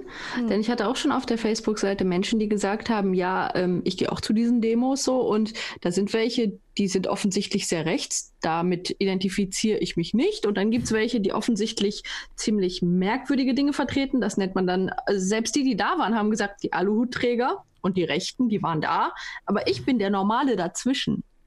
Genau, die Tante so, Inge, die sagt, ich bin doch kein Nazi mhm. und ich glaube doch auch nicht an QAnon, ich stehe aber trotzdem mittendrin. Genau, und das ist aber natürlich super gefährlich, weil äh, ja. wenn die sich da solidarisieren und vor allem auch die emotionale Erfahrung machen, ich habe ja die Videos gesehen, das ist ja für die Leute, die dahin gehen, eine sehr emotionale, verbindende Erfahrung, mhm. eine positive emotionale Erfahrung, mhm. dann ist natürlich die Gefahr, ja. dass sie dadurch plötzlich Menschen sympathisch finden um sich herum und denen auch eher glauben, als wenn sie diese Menschen in einem anderen Kontext kennengelernt mhm. hätten. Exakt. Also Emotionen ja. sind immer so gefährlich, weil sie dann das Denken auch beeinflussen. Und wenn der sehr rechte oder der sehr merkwürdige Typ auf einmal super nett neben dir steht und mit dir zusammen das emotionale Erlebnis hat, mhm. dann wirst du dem eventuell eher zuhören. Und das ist das große Problem der Ansteckung von sehr fragwürdigen okay. Thesen in diesem ja. Holm, du hast da gerade ja. ein äh, ja, Geräusch ich, dazwischen gehümmert. Ich würde zunächst mal, ja, entschuldige, ich, ich, ich platze dann. Nein, gerne, ja, äh, du mach dich bemerkbar, das ist Nein, ja in diesem also, Zoom ich, sowieso. Ich würde zunächst mal sagen, wir wissen nicht, wie viele Leute äh, sowas glauben. Wir wissen nicht, wie viele mhm. Leute, die da, von denen, die da sind, äh, jetzt tatsächlich irgendwie Rechtsextreme sind. Wir wissen aber, dass 100 Prozent von den Leuten, die da demonstrieren, offensichtlich kein Problem haben, mit Leuten zu demonstrieren, das, die irgendwelchen Schwachfug glauben genau. und die rechtsextrem sind. Ja. Mhm. Also das, das ist ja für meine Begriffe erstmal das Problem und noch nicht mal so sehr, dass die, dass die, äh, also klar, die haben mit denen dann auch noch ein emotionales Erlebnis und werden da mhm. vielleicht noch näher rangeführt, aber die gehen ja zumindest schon mal erstmal mhm. hin und demonstrieren mit denen. Und, und gehen nicht weg in dem ja, Augenblick, wo das, genau. Zumindest ja. wenn sie da sind, merken sie, dass die da ja. sind. Und dann aber, ist doch die Frage, wo, wofür oder wogegen gehen sie auf die Straße? Also, mhm. weil, weil, also äh, Diktatur ja wohl nicht, sonst könnten sie ja nicht auf die Straße gehen, ja, und sonst wären nicht die Geschäfte wieder geöffnet und wir könnten zum Bäcker gehen und äh, das, das Land ist ja nicht in einer Diktatur, sondern es geht hier darum, dass Menschen nicht sterben sollen. Und deswegen haben wir Einschränkungen im Moment. Du kriegst einen Mundschutz vorgeschrieben. Mhm. Ja, genau. Sklave, äh, genau. Martin, du hast äh, genau. gemodert. Genau. Was war's? Ich, äh, ja, ich, ich weiß gar nicht, ob ich das so sehe, dass man sagen kann, dass alle, die dort sind, kein Problem damit haben, mit den Rechten mitzumarschieren. Mhm. Ich glaube, das ist ein. Ähm, ich glaube, da, da tun wir vielen Unrecht. Ich glaube zum Beispiel nicht, dass dieser alte Mann, der vielleicht einfach nur seine pflegebedürftige Frau sehen will, jetzt sagt, mir macht das nichts, dass da die Nazis äh, um und um marschieren. Ich glaube durchaus, dass das viele stört. So wie wenn ich auf einen linken Protest ginge und da irgendwelche Hardcore-Kommunisten äh, herummarschieren, könnte ich meine, ich gehe auf keine linken Proteste, aber, aber nur so als Gedanke, ich gehe auch auf keine rechten Proteste, aber generell. Ähm, du gehst also ich, auf linke glaub, Proteste. Ich, geh, ich war in meinem Leben noch nie auf einem Protest. Warum gehst du denn, warum gehst du denn auf linke? ja, ich hab's verstanden. Weiter. Was, ich, was du sagen wolltest. Hm? March for Science, ja, aber da bin ich nur aufgetreten, da bin ich nicht mitgegangen, das zählt nicht. Aber, aber ähm, der feine Herr Moder. du wolltest, du wolltest was völlig anderes sagen, bevor wir mit unseren dummen Witzen angefangen haben. Und das war? Ja, ich glaube, jetzt habe ich es vergessen. Nein, ich frage mich schon, frag mich schon äh, über welchen Prozentsatz wir da eigentlich reden. Ja. Weil ich meine, es gibt ja Dinge, die kann man kritisieren. Es ist ja nicht alles. Ich, ich, ich weiß nicht, ob diese Leute, die jetzt einfach sagen, da gibt es ein paar Maßnahmen, die finde ich blöd. Ähm, und ich gehe auf, ich, ich weiß nicht, ob solche Leute auf einen Protest gehen oder ob die dann eher abgeschreckt werden, weil sie wissen, okay, da sind auch Nazis und Aluhut, Hapschis etc. Es, es wäre so um, schön, wenn man das untersuchen könnte, wenn man ja. da hingehen könnte ja. und die Leute befragen könnte, aber nachher kriegst du noch ja. einen auf der Mappe, das will man ja auch nicht. Na gut, aber Moment, also ich meine, das ist ja schon spannend. Also ich äh, muss sagen, dass ich auch emotional eher so bei Holm bin und sag, äh, wenn die doch wissen, dass da solche Affen sind, dann geht doch nicht hin. Jetzt ist aber schon die Frage, ob, ich meine, dieser Herr ist natürlich für uns jetzt perfekt als Par Excellence Beispiel, ob die Frage ist wirklich, ob dieser Mann, der vielleicht nehme ich jetzt mal an, jetzt nicht zwangsläufig in Social Media so firm ist, wie wir äh, uns, äh, wie wir denken, dass wir das sind, ja, und, und äh, äh seine, wo er seine Informationen herkriegt, wir wissen es nicht. Ich kann nicht sicher sagen, ob der das überhaupt wusste äh, dass jetzt dann gleich der Antisemit mit dem Anti-Impfen-Judenstern auf der Bühne steht. Das kann schon ja, sein. Spätestens, wenn er Aber da ist, weiß er ja, gut, genau, ja, wenn, genau. wenn, du das siehst und hörst, und dann, dann, kannst du ja kaum so tun, als sei es nicht da. Es ist ja sehr offensichtlich und das ist genau der Punkt, weil jeder, der zumindest mal Geschichtsunterricht hatte, im Gegensatz zu den Basics, die man mehr nachjustieren muss in der Schule, was Wissenschaft angeht, hat ja jeder Geschichte gehabt. Hm. Und wenn man nach einem ansatzweise bestandenen Geschichtsunterricht sich dahin stellt und Leute sieht, die so tun, als wären sie Juden im KZ, ja da frage ich mich wirklich, wie man es schafft, sich das zurecht zu rationalisieren. Aber offensichtlich schaffen das einige Menschen, weil sie halt rationalisieren sehr ab, stark. Ab, ja, oder? ich glaube, wenn ja. sie nur anwesend sind, dann müssen sie sich gar nicht äh, zurecht rationalisieren. Dann können sie sich auch einfach denken, ich wünsche, der wäre jetzt nicht da. Hm. Ich denke da, ich denk ja. an, an, ja. an einen mhm. Fridays for Future Protest, wo ich auch nicht mitgegangen bin, sondern einfach schauen wollte, was los ist, äh, weil ich bin interessiert. Also da hättest du jetzt Leute, gerne mitgehen dürfen. Da hätte ich dich. Ja, ja, äh, nein, ich finde die, ja, find die ja total super. Und ich, du ich, gehst also nicht auf. Aber geh. Wieder schauen. Ich, bin, ja. ich habe mir gedacht, da waren auch ein paar Leute, wo ich mir gedacht habe, okay, das kommt mir jetzt sehr radikal links vor mit mhm. äh, Schildern, auf denen sagt, zerschlagt den Kapitalismus mhm. und ähnliches, ja. Und, äh, aber, aber ich sage da nicht, ich gehe jetzt nicht äh, für den Klimawandel demonstrieren, sondern mhm. ich sage, mein Gott, da rennen halt dabei Leute um und um, die in meinen Augen naiv sind, bestenfalls und ähm, das ist ein super, ist ein super Beispiel, Martin. Mhm. Ich finde auch, ähm, es gibt auch jetzt, ihr habt ja wahrscheinlich auch mitbekommen, es gab ja jetzt da dieses äh, äh Video zum Thema äh, Dickpics und Co. und Belästigung und Vergewaltigung, ja, ja. was äh, Joko und Klaas äh, lanciert hatten in ihren 15 Minuten, die sie da gewonnen hatten. Ja. Und ich habe äh, vielenorts äh, die Kritik gehört, ja, aber, also das sei zwar alles richtig so, aber äh, zum Beispiel, dass LGBTQ und so weiter nicht stattfanden, äh, dass äh, POC nicht stattfanden, dass ähm, äh, Terre de Femme äh, eben wohl von vielen auch als ein Problem gesehen wird. Also es gab sehr viele Kritikpunkte insgesamt, trotz, trotz des fraglos positiven, der fraglos positiven Sache an sich, gab es trotzdem mhm. wahnsinnig viele Kritikpunkte. Und da stellt sich dann schon auch tatsächlich die Frage, so wie jetzt eben auch, äh, ich habe ein Fridays for Future, was eigentlich was Gutes ist, habe aber jetzt da hinten jemand stehen und da und da und da und da, die sind offensichtlich wirklich grob scheiße. Ist jetzt Fridays for Future scheiße? Ist jetzt das Video von Joko und Klaas scheiße, weil es das alles nicht drin hat?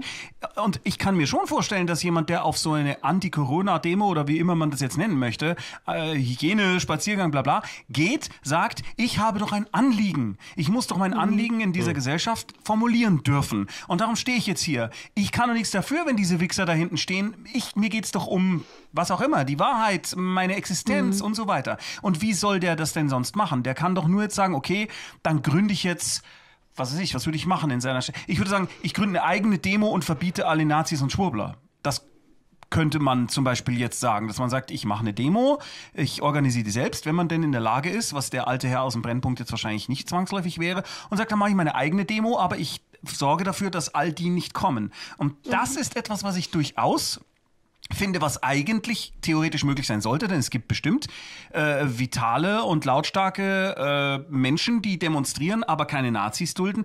Warum demonstrieren die denn nicht ohne und machen ihre eigene Demo? Warum, warum muss das so ein Konglomerat aus Arschlochhaftigkeit sein? Und warum müssen die sich zwangsläufig scheinbar dort anschließen, um gehört zu werden? Müssen sie doch vielleicht hat man auch Angst, die Bewegung selbst zu spalten. Eine große Bewegung, die vielleicht was erreicht, in zwölf Subbewegungen, die einander versuchen zu ah. Mhm. exkludieren. Mhm. Wir hatten ein ähnliches Phänomen mhm. bei einem Uni-Protest vor ein paar Jahren, also schon mehrere Jahre her. Da mhm. wurde ein Hörsaal besetzt, lange Zeit, viele Tage, um ursprünglich mehr Geld für die Universität einzufordern. Und was aber passiert ist, ist, dass sehr viele Leute mit sehr unterschiedlichen Anliegen dahergekommen sind. Dann gab es die einen, die haben protestiert für mehr homosexuellen Rechte, die anderen hatten protestiert für äh, mehr Kommunismus an den Unis etc. Und am Ende konnte sich eigentlich niemand so wirklich mehr mit der Bewegung als Ganzes identifizieren, weil es einfach zehn verschiedene Richtungen eigentlich bewirken wollte. Und wenn du jetzt die Situation hast, dass manche dort sind, die sagen, okay, ich will eigentlich meine Angehörigen, Pflegebedürftigen besuchen. Andere, die sagen, ich will meinen Job wieder machen, weil es ist nicht fair, dass andere viel enger aneinander sitzen dürfen in anderen Bereichen und ich darf meinen Job nicht machen. Und dann hast du andere, die sagen, die Juden bauen 5G-Türme, um mit Bill Gates die Weltherrschaft durch Mikrochips zu erzwingen. Äh, dann hast du halt diesen großen Haufen, der für alle eigentlich unattraktiv wäre. Und das dann in in ja, zehn aber, separate Protests. Ja, aber die Alternative ist doch, ich stehe mit äh, Holocaust-Leugnern auf einem Platz. Holm, du wolltest was sagen? Sagt das also, Richtige? ja, letzt, letztlich genau das Gleiche. Also ich kann doch nicht sagen, ich will die Bewegung nicht spalten, wenn ich in meiner Bewegung irgendwie äh, solche Leute mit drin Wenn habe. sie der Spaltung bedürfte, um ernst genommen zu werden von vernünftigen ja, Menschen. Ja, eben, mhm. ja. Wobei ich ganz ehrlich sagen muss, also ich bin, ich habe, äh, äh, sagen wir mal, äh, ähnlich viel Verständnis für Leute, die auf einen, einen Anti-Globalisierungsprotest gehen, obwohl sie wissen, dass am Ende dieses Protests irgendwie Steine geworfen werden. Also das, äh, da, da äh, das, das sehe ich sehr ähnlich. Ich glaube, da ist einfach für eine, eine differenzierte äh, Auseinandersetzung ist auch, glaube ich, eine Demonstration immer nur bedingt geeignet. damit kann man mal Aufmerksamkeit für ein Thema erwecken, äh, aber dann muss man sich andere Kommunikationskanäle suchen. Was also ein bisschen, ja.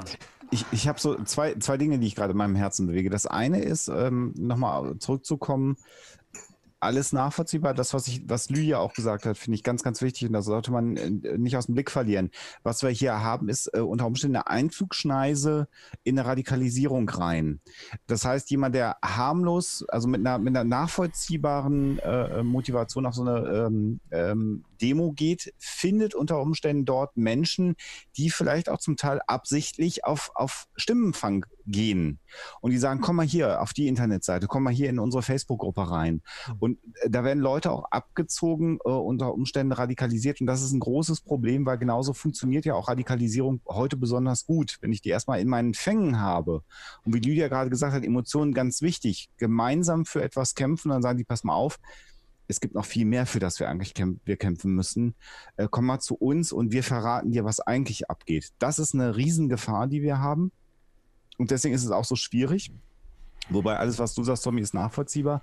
Und das Zweite, was ich kurz anführen muss, weil ich das so unglaublich wichtig finde. Und ich habe das auch mit beobachtet mit diesem Jochen und Klaas äh, Geschichte und die Ausdifferenzierung. Es gibt Beobachter, die genau diesen Prozess, den du beschrieben hast, Tommy, also an sich ja eine gute Sache, aber das habt ihr vergessen, das habt ihr vergessen, das habt ihr vergessen und deswegen ist die gesamte Sache nicht mehr gut.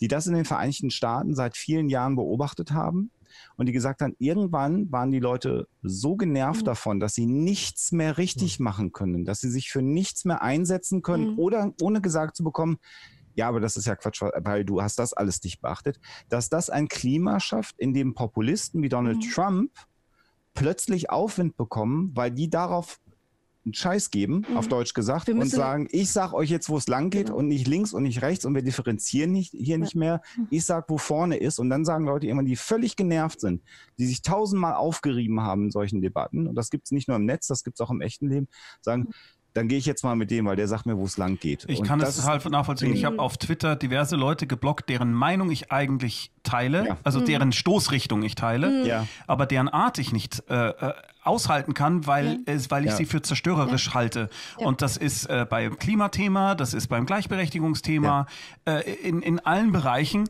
Äh, und jetzt natürlich auch bei, bei der ganzen Corona-Gaudi dann äh, nochmal hoch 10. Denn hier mischt sich jetzt wirklich so ein obergäriger Haufen an diversen äh, äh, berechtigten, unberechtigten, äh, äh, äh problematischen äh, rechten Verschwörern und Kram. Das ist, ich finde das so unüberblickbar und das macht mir tatsächlich wirklich Angst. Und ich bin fast froh, dass mir jetzt wenigstens ein bisschen was davon genommen ist, indem ich jetzt nicht mehr davon zwangsläufig ausgehen muss, wie am Anfang der Diskussion, wie ich reingekommen bin, jetzt stecken sie uns auch noch alle an, sondern, äh, aber das andere Ding, was jetzt noch übrig bleibt, nämlich, dass sich hier Leute radikalisieren, dass Leute, die vielleicht mhm. harmlos dahingelaufen sind, mhm. äh, zumindest einen Einstieg in eine Radikalisierung ja, ja, das ist, finden das können. Ist ein eine ideologische Ansteckung, die ja, da unter genau. Umständen ja. stattfindet. Und die ist äh, eigentlich viel, viel äh, gravierender als die Gefahren durch das Virus selber, weil. Offensichtlich. Äh, ja. Und, mhm. und ein zweites Problem ist, dass die generelle Vorsicht sinken könnte. Das mhm. Gefühl, ich kann auf die Straße gehen, ich demonstriere und mir passiert nichts. Äh, mhm. Martin hat erklärt, äh, warum es eventuell gar nicht so schlimm ist äh, zu demonstrieren, führt dazu, dass er sagt, siehste, das soll ich nicht machen, das verbietet mir ja Frau Merkel, da passiert gar nichts. Also kann ich den ganzen anderen Scheiß auch bleiben lassen und mir passiert auch mhm. nichts. Und das ist ein zweites große Risiko, und? dass die Leute sich zu sicher fühlen und dass diese Überzeugung am Ende wieder zu einer höheren Infektion. Und wir haben noch ein anderes Problem, auch nochmal zurück zu dir, Martin, was du vorletztes Mal so schön erklärt hast dass das Gemeine an dem Virus ja ist, dass man Ansteckungs- dass man hoch ansteckend ist, aber symptomfrei. Vielleicht magst du das mhm. für die Gemeinheit noch mal einmal kurz zusammenfassen. Das finde ich super wichtig. Ja, da gibt es ein paar gute Untersuchungen. Also man hat ja, man infiziert sich, dann gibt es eine Latenzzeit. Das bedeutet, die Zeit, bis Symptome einsetzen, die ist so um eine Woche herum häufig. Aber was halt gemein ist, was wirklich das Gemeine ist und der Grund, warum dieses Virus sich nicht einfach einfangen hat lassen, wie das bei anderen vergangenen Coronaviren, äh, Coronavirus-Pandemien der Fall war, ist, dass du ansteckend bist, bevor du Symptome bekommst. Ja? Also es gibt einen gewissen Prozentsatz von Leuten, die bekommen gar keine Symptome und sind ansteckend. Streiten sich die noch, wie hoch der Prozentsatz tatsächlich ist. Bei Kindern ist er vermutlich höher. Aber selbst wenn du extreme Symptome kriegst, etwa die Hälfte aller Infektionen äh, finden statt bei Leuten, die, also blöd ausgedrückt, die Hälfte aller Leute, die sich infizieren, infizieren sich bei Menschen innerhalb der zwei Tage, bevor sie Symptome entwickeln. Das also heißt, bei Leuten, ich, die nicht wissen, dass sie krank sind. Genau. Man nennt die dann mhm. äh, präsymptomatisch. Das bedeutet, die werden in zwei Tagen sich hundsmiserabel fühlen, aber heute fühlen sie sich topfit sind bereits ansteckend und da passiert die Hälfte aller Infektionen. Das heißt, die, die Leute, die tatsächlich schon krank im Bett liegen, äh, sind gar nicht der entscheidendste Faktor, sondern es sind die, die glauben, sie sind noch gesund. Das ist wirklich perfide. Ist das ungewöhnlich? Also das klingt aus deinem Mund jetzt so, als wäre das für ein Virus nicht alltäglich. Hm, es gibt schon andere Viren, die das auch machen, aber es ist nicht gesagt, dass Coronaviren das machen müssen. Äh, das, das kann auch durch Mutations, äh, durch bestimmte mhm. Mutationen sich verändern. Das hängt davon ab, welchen Teil des Körpers befällt das Virus etc. Also von mir aber aus müssen sie nicht. Sie können es ruhig bleiben lassen, aber sie haben sich halt offensichtlich dafür entschlossen und fahren sehr erfolgreich damit, die neuen Also ein ganz anderes Virus, bei dem das so ist, ist HIV. Also das ist ja ganz, ganz gängig und ja, bekannt. Ah, okay, ja, stimmt. Hm. Da hast genau. du ja eine ewig lange Inkubationszeit. Hm. Ja, was machen wir denn jetzt mit den ganzen Leuten, die da stehen? Wir können also sie nicht ich, als amorphe Masse. Äh, äh, ja, Holm, bitte. Ja, ich, ich würde noch mal auf einen Punkt zurückkommen, um, um äh, auf die Gefahr hin, dich dabei äh, dann, dann gleich wieder ein bisschen zu beunruhigen. Die ganze Situation erinnert mich ein bisschen an 2014. Nein, nicht 1933, erstmal 2014.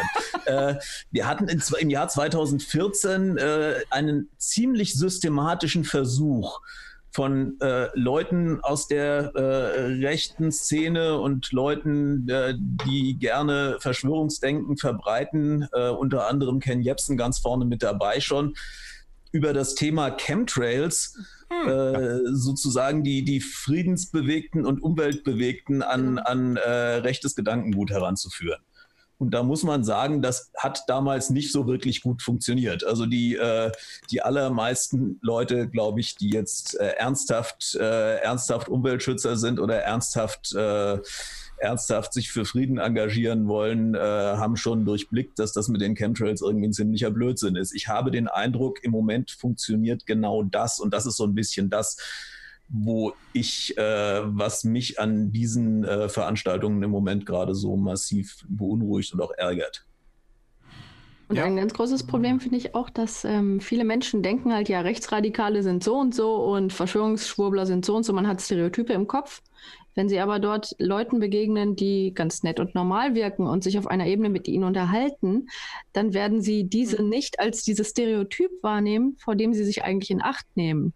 Mhm. Und deswegen finde ich diesen sozialen Austausch so gefährlich, weil sie werden nicht den Stereotypen begegnen, die sie erwarten, wenn sie an Rechtsradikale oder totale Verschwörungsschwurbler denken. Also, ähm, und das ist das große Problem mit dieser Durchmischung von Personen. Selbst wenn die kleinere Prozentzahl extrem ist, hat die größere Prozentzahl eine nähere Interaktion mit diesen und das ist tatsächlich ideologisch potenziell ansteckend. Und äh, das werden wir dann in den nächsten Jahren sehen, wie sich das eigentlich auswirken wird. Ne? Das heißt, im Endeffekt, äh, um diese Frage aus äh, dem reißerischen Titel zu beantworten, äh, Tante Inge ist ein Nazi. Nein, aber jetzt könnte sie vielleicht einer werden und sie merkt es erstmal nicht mal. Unter Umständen ja. ja. Ja, sie merkt es nicht die Tante Inge. Also die, die Leute mit den extremen Ansichten haben ja auch, also wie gesagt, wir wissen ja nicht, wie viele von denen, wie viele die an denen sind, die da unten stehen.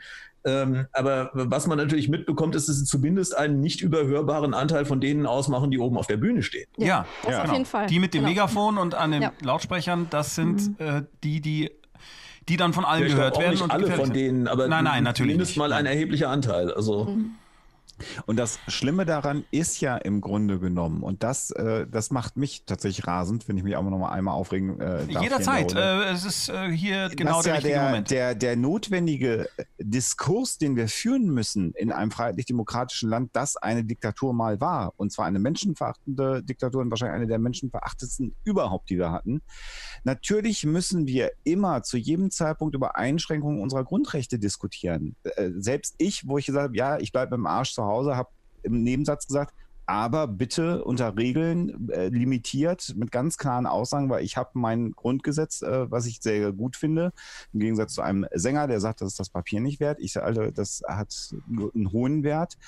Ähm, aber ich verzichte jetzt als meine, in, mein, in, meiner Verantwortung als Bürger dieses Staates eine Zeit lang auf das, was auf diesem Papier steht, aber nicht für immer. Und ich muss auch immer wieder sagen, wir haben das. Und ihr könnt jetzt nicht glauben, liebe Politiker, ähm, dass das für immer geht es gab zu keinem Zeitpunkt im Rahmen der Einschränkung ja die Gefahr, dass das passiert ist. Das war immer transparent, es waren immer Zeiten genannt, es waren Gründe genannt und es war für mich zumindest glaubwürdig, allen Politikern anzumerken, zumindest zu Beginn, wie schwer das Ringen war, diese Entscheidungen zu treffen. Und äh, ich bin kein großartiger Fan von Frau Merkel, aber ich finde, diese Reden, die sie da am Anfang gehalten hat, habe ich gesagt, mhm.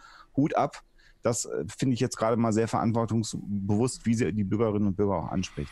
Und das Schlimme ist, Sie haben ja im Moment auch in der Politik einen ganz großen Druck dahinter. Im Moment will ja jeder der Erste sein, der die Lockerungen verkündet. Also ja, ja. Genau, genau. Ja. Und das ist äh, und und äh, jetzt haben wir aber diese Demonstrationen äh, die so tun, als ob das nicht so wäre. Und äh, äh, man wird jetzt ja schon allein unter Umständen, wenn man Pech hat, nur weil man das äußert, dass man darüber mal diskutieren soll, jetzt auch schon wieder in diese in diese Gruppe unter Umständen subsumiert. Ja. Wär, du, du, bist also ja. auch einer, der hier mit den Nazis auf die Straße Nee, das, tatsächlich, dass wenn man sagt, also über diese Grundrechte kann man diskutieren, das sollte man in einem Staat ja. auch, sollte man auch dürfen, dass dann sofort äh, dieser äh, äh Rückschluss gezogen wird, dann bist du ja einer von denen.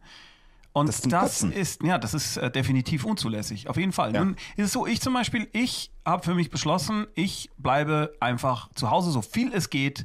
Ich bleibe einfach zu Hause. Ich richte mich danach so gut es irgendwie geht. Ich möchte weder Überträger sein, noch möchte ich mich irgendwo anstecken. Ich versuche alles, was irgendwie geht, um das zu vermeiden. Würden wir das alle tun, wäre das ja irgendwie wahnsinnig erfolgreich. Äh, wahrscheinlich und sehr schnell vorbei. Jetzt haben wir auf der anderen äh, nein, Seite. Ja. Nein, wäre es nicht. Also ich glaube, das ist ein ganz, schneller, ganz schneller in Gottes Namen. Seite immer auftaucht. Es ist nicht, es ist davon nicht schneller vorbei. Es ist vorbei, wenn wir einen Impfstoff haben. Ja, richtig. Okay. Egal was wir machen. Ich dachte, wäre es nicht so. weniger Leute auf dem Weg. Ja, das, das wäre ja mal was. Aber Moment, Herr Holm, ist genau. es nicht auch so, dass wenn niemand, niemand ist jetzt natürlich völlig übertrieben, aber wenn ganz, ganz wenig Leute sich anstecken, ist dann das Virus nicht auch irgendwann weg?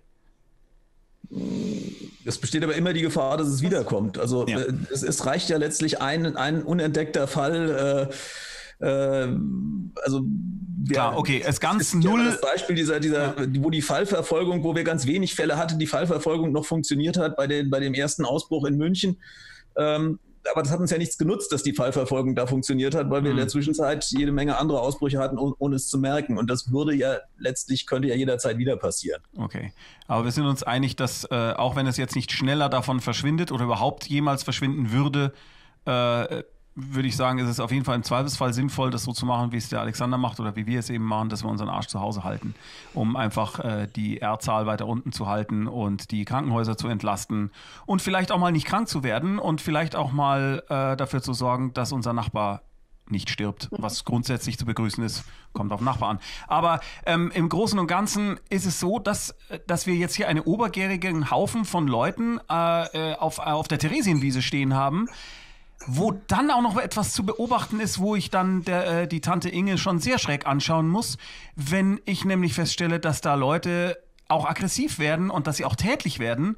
Äh, etwas, was ich von Tante Inge so jetzt nicht erwartet hätte und wo äh, ich sagen muss, also spätestens da ist der, der Moment, da muss ich doch heimgehen, wenn Leute anfangen, äh, Kamerateams zusammenzuschlagen neben mir.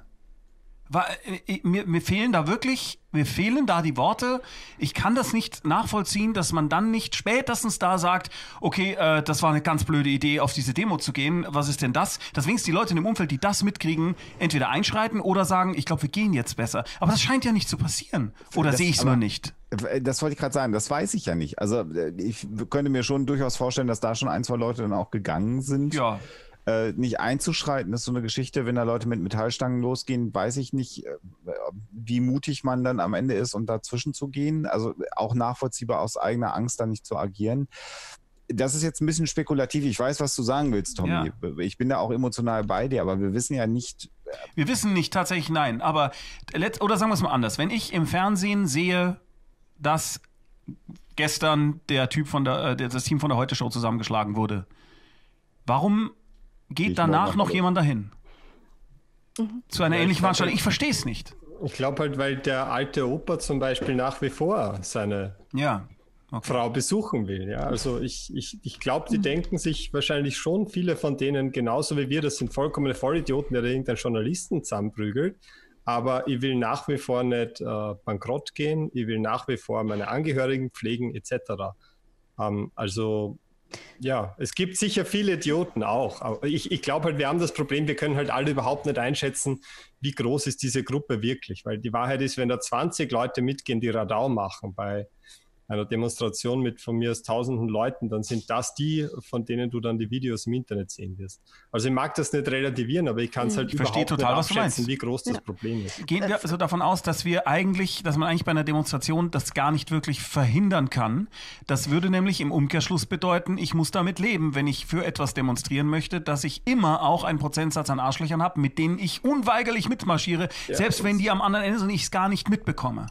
Es sollte zumindest verlangt sein, dass die Leute, die auf der Bühne stehen, sich davon distanzieren und das verurteilen. Ha. Das, das ist nämlich genau der Punkt. Vielleicht sollten wir gar nicht unbedingt bei Tante Inge ansetzen, sondern eher bei Ken Jepsen und Konsorten äh, und bei den Multiplikation, äh, Multiplikatoren ansetzen. Mhm. Also wir haben ja ähm, schon öfter mal bei Huxilla auch gesagt, wenn wir äh, gefragt wurden zu dem Thema, ähm, wie geht ihr denn generell so mit Verschwörungsgläubigen um? Und wir versuchen dann immer zu differenzieren und zu sagen, wir gehen anders mit jemandem um, der wirklich aufrichtig Angst vor Chemtrails hat und daran glaubt, ähm, als mit jemandem, der sich wie Alex Jones oder Ken Jebsen oder Naidu hinstellt und diesen ganzen Schmarrn irgendwie ins Netz hinaus bläst und ähm, das auch noch tut, weil er irgendwie eine eigene Agenda hat. Ne? Also bei, bei Ken Jebsen weiß ich nicht, ob es da wirklich Geld ist oder Geltungsbedürfnis. Ähm, bei Alex Jones ist es sicherlich ähm, neben einer guten Einstellung auch äh, ganz klar äh, das Geld, was da eine Rolle spielt. Also da, das sind ja total unterschiedliche Fälle, die du auch anders bewerten musst. Und wir müssen natürlich ein Auge drauf haben, ähm, wen Tante Inge da als, als Quelle ähm, heranzieht für, für ihre Ansichten, die sie neuerdings verbreitet und die uns so komisch vorkommen. Und natürlich müssen wir mit, mit Tante Inge reden, aber wir müssen halt auch ähm, Tante Inge sagen, du, ähm, der Herr Jepsen, der macht übrigens das und das ähm, und fällt auch mal gern durch antijüdische äh, Tendenzen auf. Ähm, Vorsicht, mit wem du dich da assoziierst. Das heißt, wir könnten uns darauf einigen, wir können nicht wirklich, wenn wir auf eine Demo gehen, wir können natürlich nicht alleine kontrollieren, wer da alles mitläuft, aber man kann sich durchaus vorher informieren, wer denn da auf der Bühne posaunen wird. Das kann man ja im, im Regelfall. Oder man kann zumindest, wenn man feststellt, da steht jetzt ein Antisemit auf der Bühne, den Holocaust leugnet oder geleugnet hat, dann spätestens dann gehe ich. Ja. Denn das genau. ist offensichtlich jetzt ein Sprachrohr, der sich als ein Sprachrohr für uns alle hier dort auch hinstellt und der darf nicht mein Sprachrohr sein. Dann und das ist ich. auch eine total geschickte Strategie von denen, sich da dran zu flanschen, an solche realen genau. Ängste von Leuten. Ne? Das ist perfide, funktioniert aber super gut, gerade jetzt in dieser Zeit.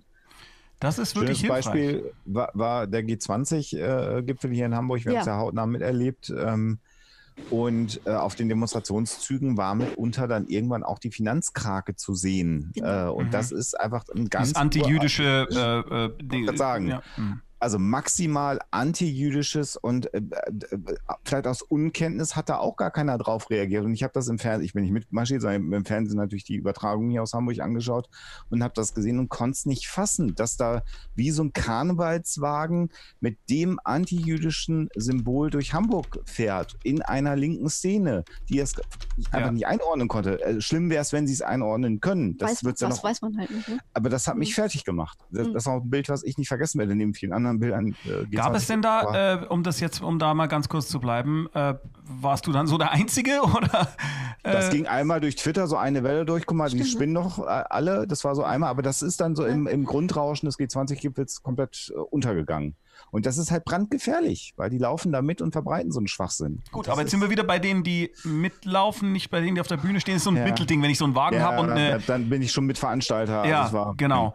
Äh, wie, was, kann man denn, also ich muss gestehen, dass ich, äh, da ich mit Menschenmengen äh, nicht so gut äh, umgehen kann, außer ich stehe auf einer Bühne, äh, äh, nicht weil ich Ken Jebsen sein will, sondern einfach weil da eine Grenze ist und ich nur dann runterspringe, wenn ich weiß, dass da Leute sind, die mich auffangen, äh, was ich nie tue. Ähm, ich kenne mich mit Demos wahnsinnig wenig aus. Ich weiß nicht, wie ist das denn, wenn also jemand organisiert das und der organisiert dann auch, oder diese Gruppe um diese Person organisiert die Redner irgendwo ab und ich kriege doch irgendwo eine Info, wer dann da alles auftreten wird oder zumindest einen gewissen Prozentsatz derer, oder? So ist das doch. Normalerweise würde ich sagen, ich habe bis jetzt auch, äh, also in, in, meinen politisch aktiven Zeiten, Anfang der 90er Jahre, mal äh, eine, eine äh, relativ überschaubare Demonstration organisiert und ansonsten den Frankfurter March for Science ein paar Mal mitorganisiert. Mhm. Äh, und natürlich als Veranstalter hast du die Kontrolle darüber, wen du auf die Bühne lässt. Du hast natürlich nicht die Kontrolle, äh, welche Parolen irgendwo hinten in deinem Zug äh, möglicherweise geschrien werden. Da habe ich mich beim March for Science auch schon gelegentlich gewundert. Aber äh, das ist halt dann so. Also da, da kannst du tatsächlich nichts mehr machen als Veranstalter. Und dann kannst du allenfalls, also wenn es halt ganz schlimm wird, wenn es irgendwie äh, verfassungsfeindlich wird oder sowas, kannst du den Leuten sagen, jetzt geht ihr aber nach Hause. Und dann kann man auch darauf hoffen, dass, dass, dass die das tun oder dass andere aus der Demonstration denen sagen, sie mögen das bitte tun.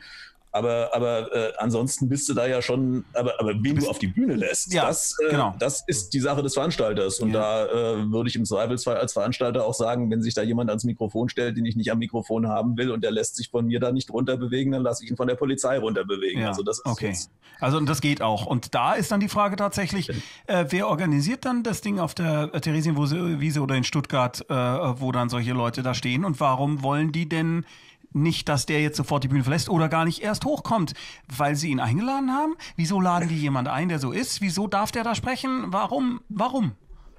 Das muss doch, also ich meine. Nein, also ich, ich glaube, die Antwort ist relativ offensichtlich, oder? Also für mich ist jedenfalls ja. relativ Ja, aber, klar, aber wenn ich mich doch nicht diskreditieren lassen möchte, äh, oder es sind, ja, es sind ja die Rechtspopulisten, die solche äh, Aktionen anstoßen und dann springen andere Leute darauf auf. Der besagte ältere Herr kriegt mit, da ist eine Demo mhm. und der sagt, mir behagt das auch nicht. Aber der hat ja, es sind ja nicht die älteren Herren, die zu ihren ja, okay. Verwandten in, ins Pfleger, äh, in die Pflegeeinrichtung gehen wollen, sondern es sind die Rechtspopulisten, die diese Dinge anmelden, streuen und hoffen, dass der normale Bürger hinzukommt und da vergiftet wird. Äh, ganz kurz, weil äh, in, bei, äh, bei Twitch im Chat gerade ein Parallelthema sich auftut, wo jemand sagt, äh, der Ken Jebsen, ja, der hat, der ist schon nicht okay, aber er hat nie den Holocaust geleugnet. Hat er doch? Hat das jemand behauptet von uns? Nein. Ich hatte das, nee, ich hatte das im. Antijüdische, antijüdische ja. Tendenzen. Genau, ich ja. hatte das, äh, ich hatte das so, ich habe gesagt, wenn da jemand auf der Bühne steht, der den Holocaust leugnet und Ken Jebsen äh, in einem Fluss, aber ich glaube, er selber hat den Holocaust ich Nein. weiß es nicht, aber Dazu ich glaube, ist er wahrscheinlich zugestimmt. Er ist sehr schlau ja. und man kann immer nur sagen, er äußert sich äh, in der Schnittmenge zu antijüdischen Tendenzen, ist aber sehr gepflegt in seiner Wortwahl, weil er nicht dumm ist. Ja ähm, sodass man da ihm das per se nicht unterstellen kann, aber das äh, Soziotop, in dem er sich bewegt. Also ja. er tritt in Sendungen auf, zum Beispiel ja. auf YouTube, äh, in denen in einer anderen Sendung in diesem Format durchaus äh, äh, Relativierung und Holocaust. Und jemand anders hat gerade geschrieben, das kann ich jetzt nicht nachprüfen, natürlich so schnell, Ken Jebsen habe gesagt, er, Anführungsstrichen, weiß, wer den Holocaust als PR erfunden hat. Wenn er es wirklich gesagt hat, dann hat er so ihn nicht was. geleugnet, aber ja, du bist genau aber verdammt nah dran, Jebsen Baby. Ganz also das, klingt, knapp, ja. das klingt jedenfalls durchaus nach Formulierungen, die in der Szene sehr, sehr gebräuchlich sind. Ja. Ja. Also die Leute wissen natürlich auch, äh, zumindest mal die, die etwas, etwas intelligenteren wissen natürlich auch, wo die Grenze dessen ist, äh, wo sie sich strafbar machen. Leute wie Ken Jebsen wissen auch, wo die Grenze dessen ist, wo sie einen von uns noch verklagen können, weil er von denen als äh, Antisemit oder als was auch immer mal bezeichnet worden ist. Äh, insofern werden äh, die Will man das von ihm nicht hören. vorsichtig, wo sie da. Okay, äh, gut. Das ist übrigens der Grund, warum ich zum Beispiel Xavier Nadu niemals Antis als Antisemiten bezeichnen würde, weil er geklagt hat und man darf Xavier Nadu laut äh, Urteil nicht als Antisemiten bezeichnen. Also das darf man nicht. Das ist machen. ganz erstaunlich. Ich meine, Lydia, das ist doch, ich meine, vor dem Hintergrund, was er sagt und was das für eine Art von Verschwörungstheorie ist, äh, ist das doch, also ich würde es als ja, genau bezeichnen. jetzt. Du meinst, du meinst jetzt. Ich meine jetzt äh, Naidu in dem Fall. Hm. Mhm. Ich, ich, bin kein Jurist. Das ist ja eine juristische Frage. Das Problem ist, wenn ich eins gelernt habe, ist, dass nur Juristen Jura beurteilen können. Mhm. Und ähm, echt, also da, da, man muss wissen, wo die eigene Kompetenz endet. Das macht ja Kompetenz aus. Und wenn ich eins weiß, ist, dass ich juristische Dinge nie versuche selbst zu verstehen, okay. sondern stets Juristen meines Vertrauens dazu befrage, wie sie es einschätzen. Dann lass uns, lass, es, lass mich die Frage anders formulieren. Äh, sowohl der Howling Matt Hillman als auch äh, der Naidu äh, scheinen eine diese QAnon-Geschichte eben äh, oder Teile davon oder Abwandlungen davon, man weiß es ja gar nicht so genau, äh, wiederzukäuen, in denen sich sehr viel antisemitische Themen wiederfinden, ja. die wir schon seit Jahrhunderten so kennen.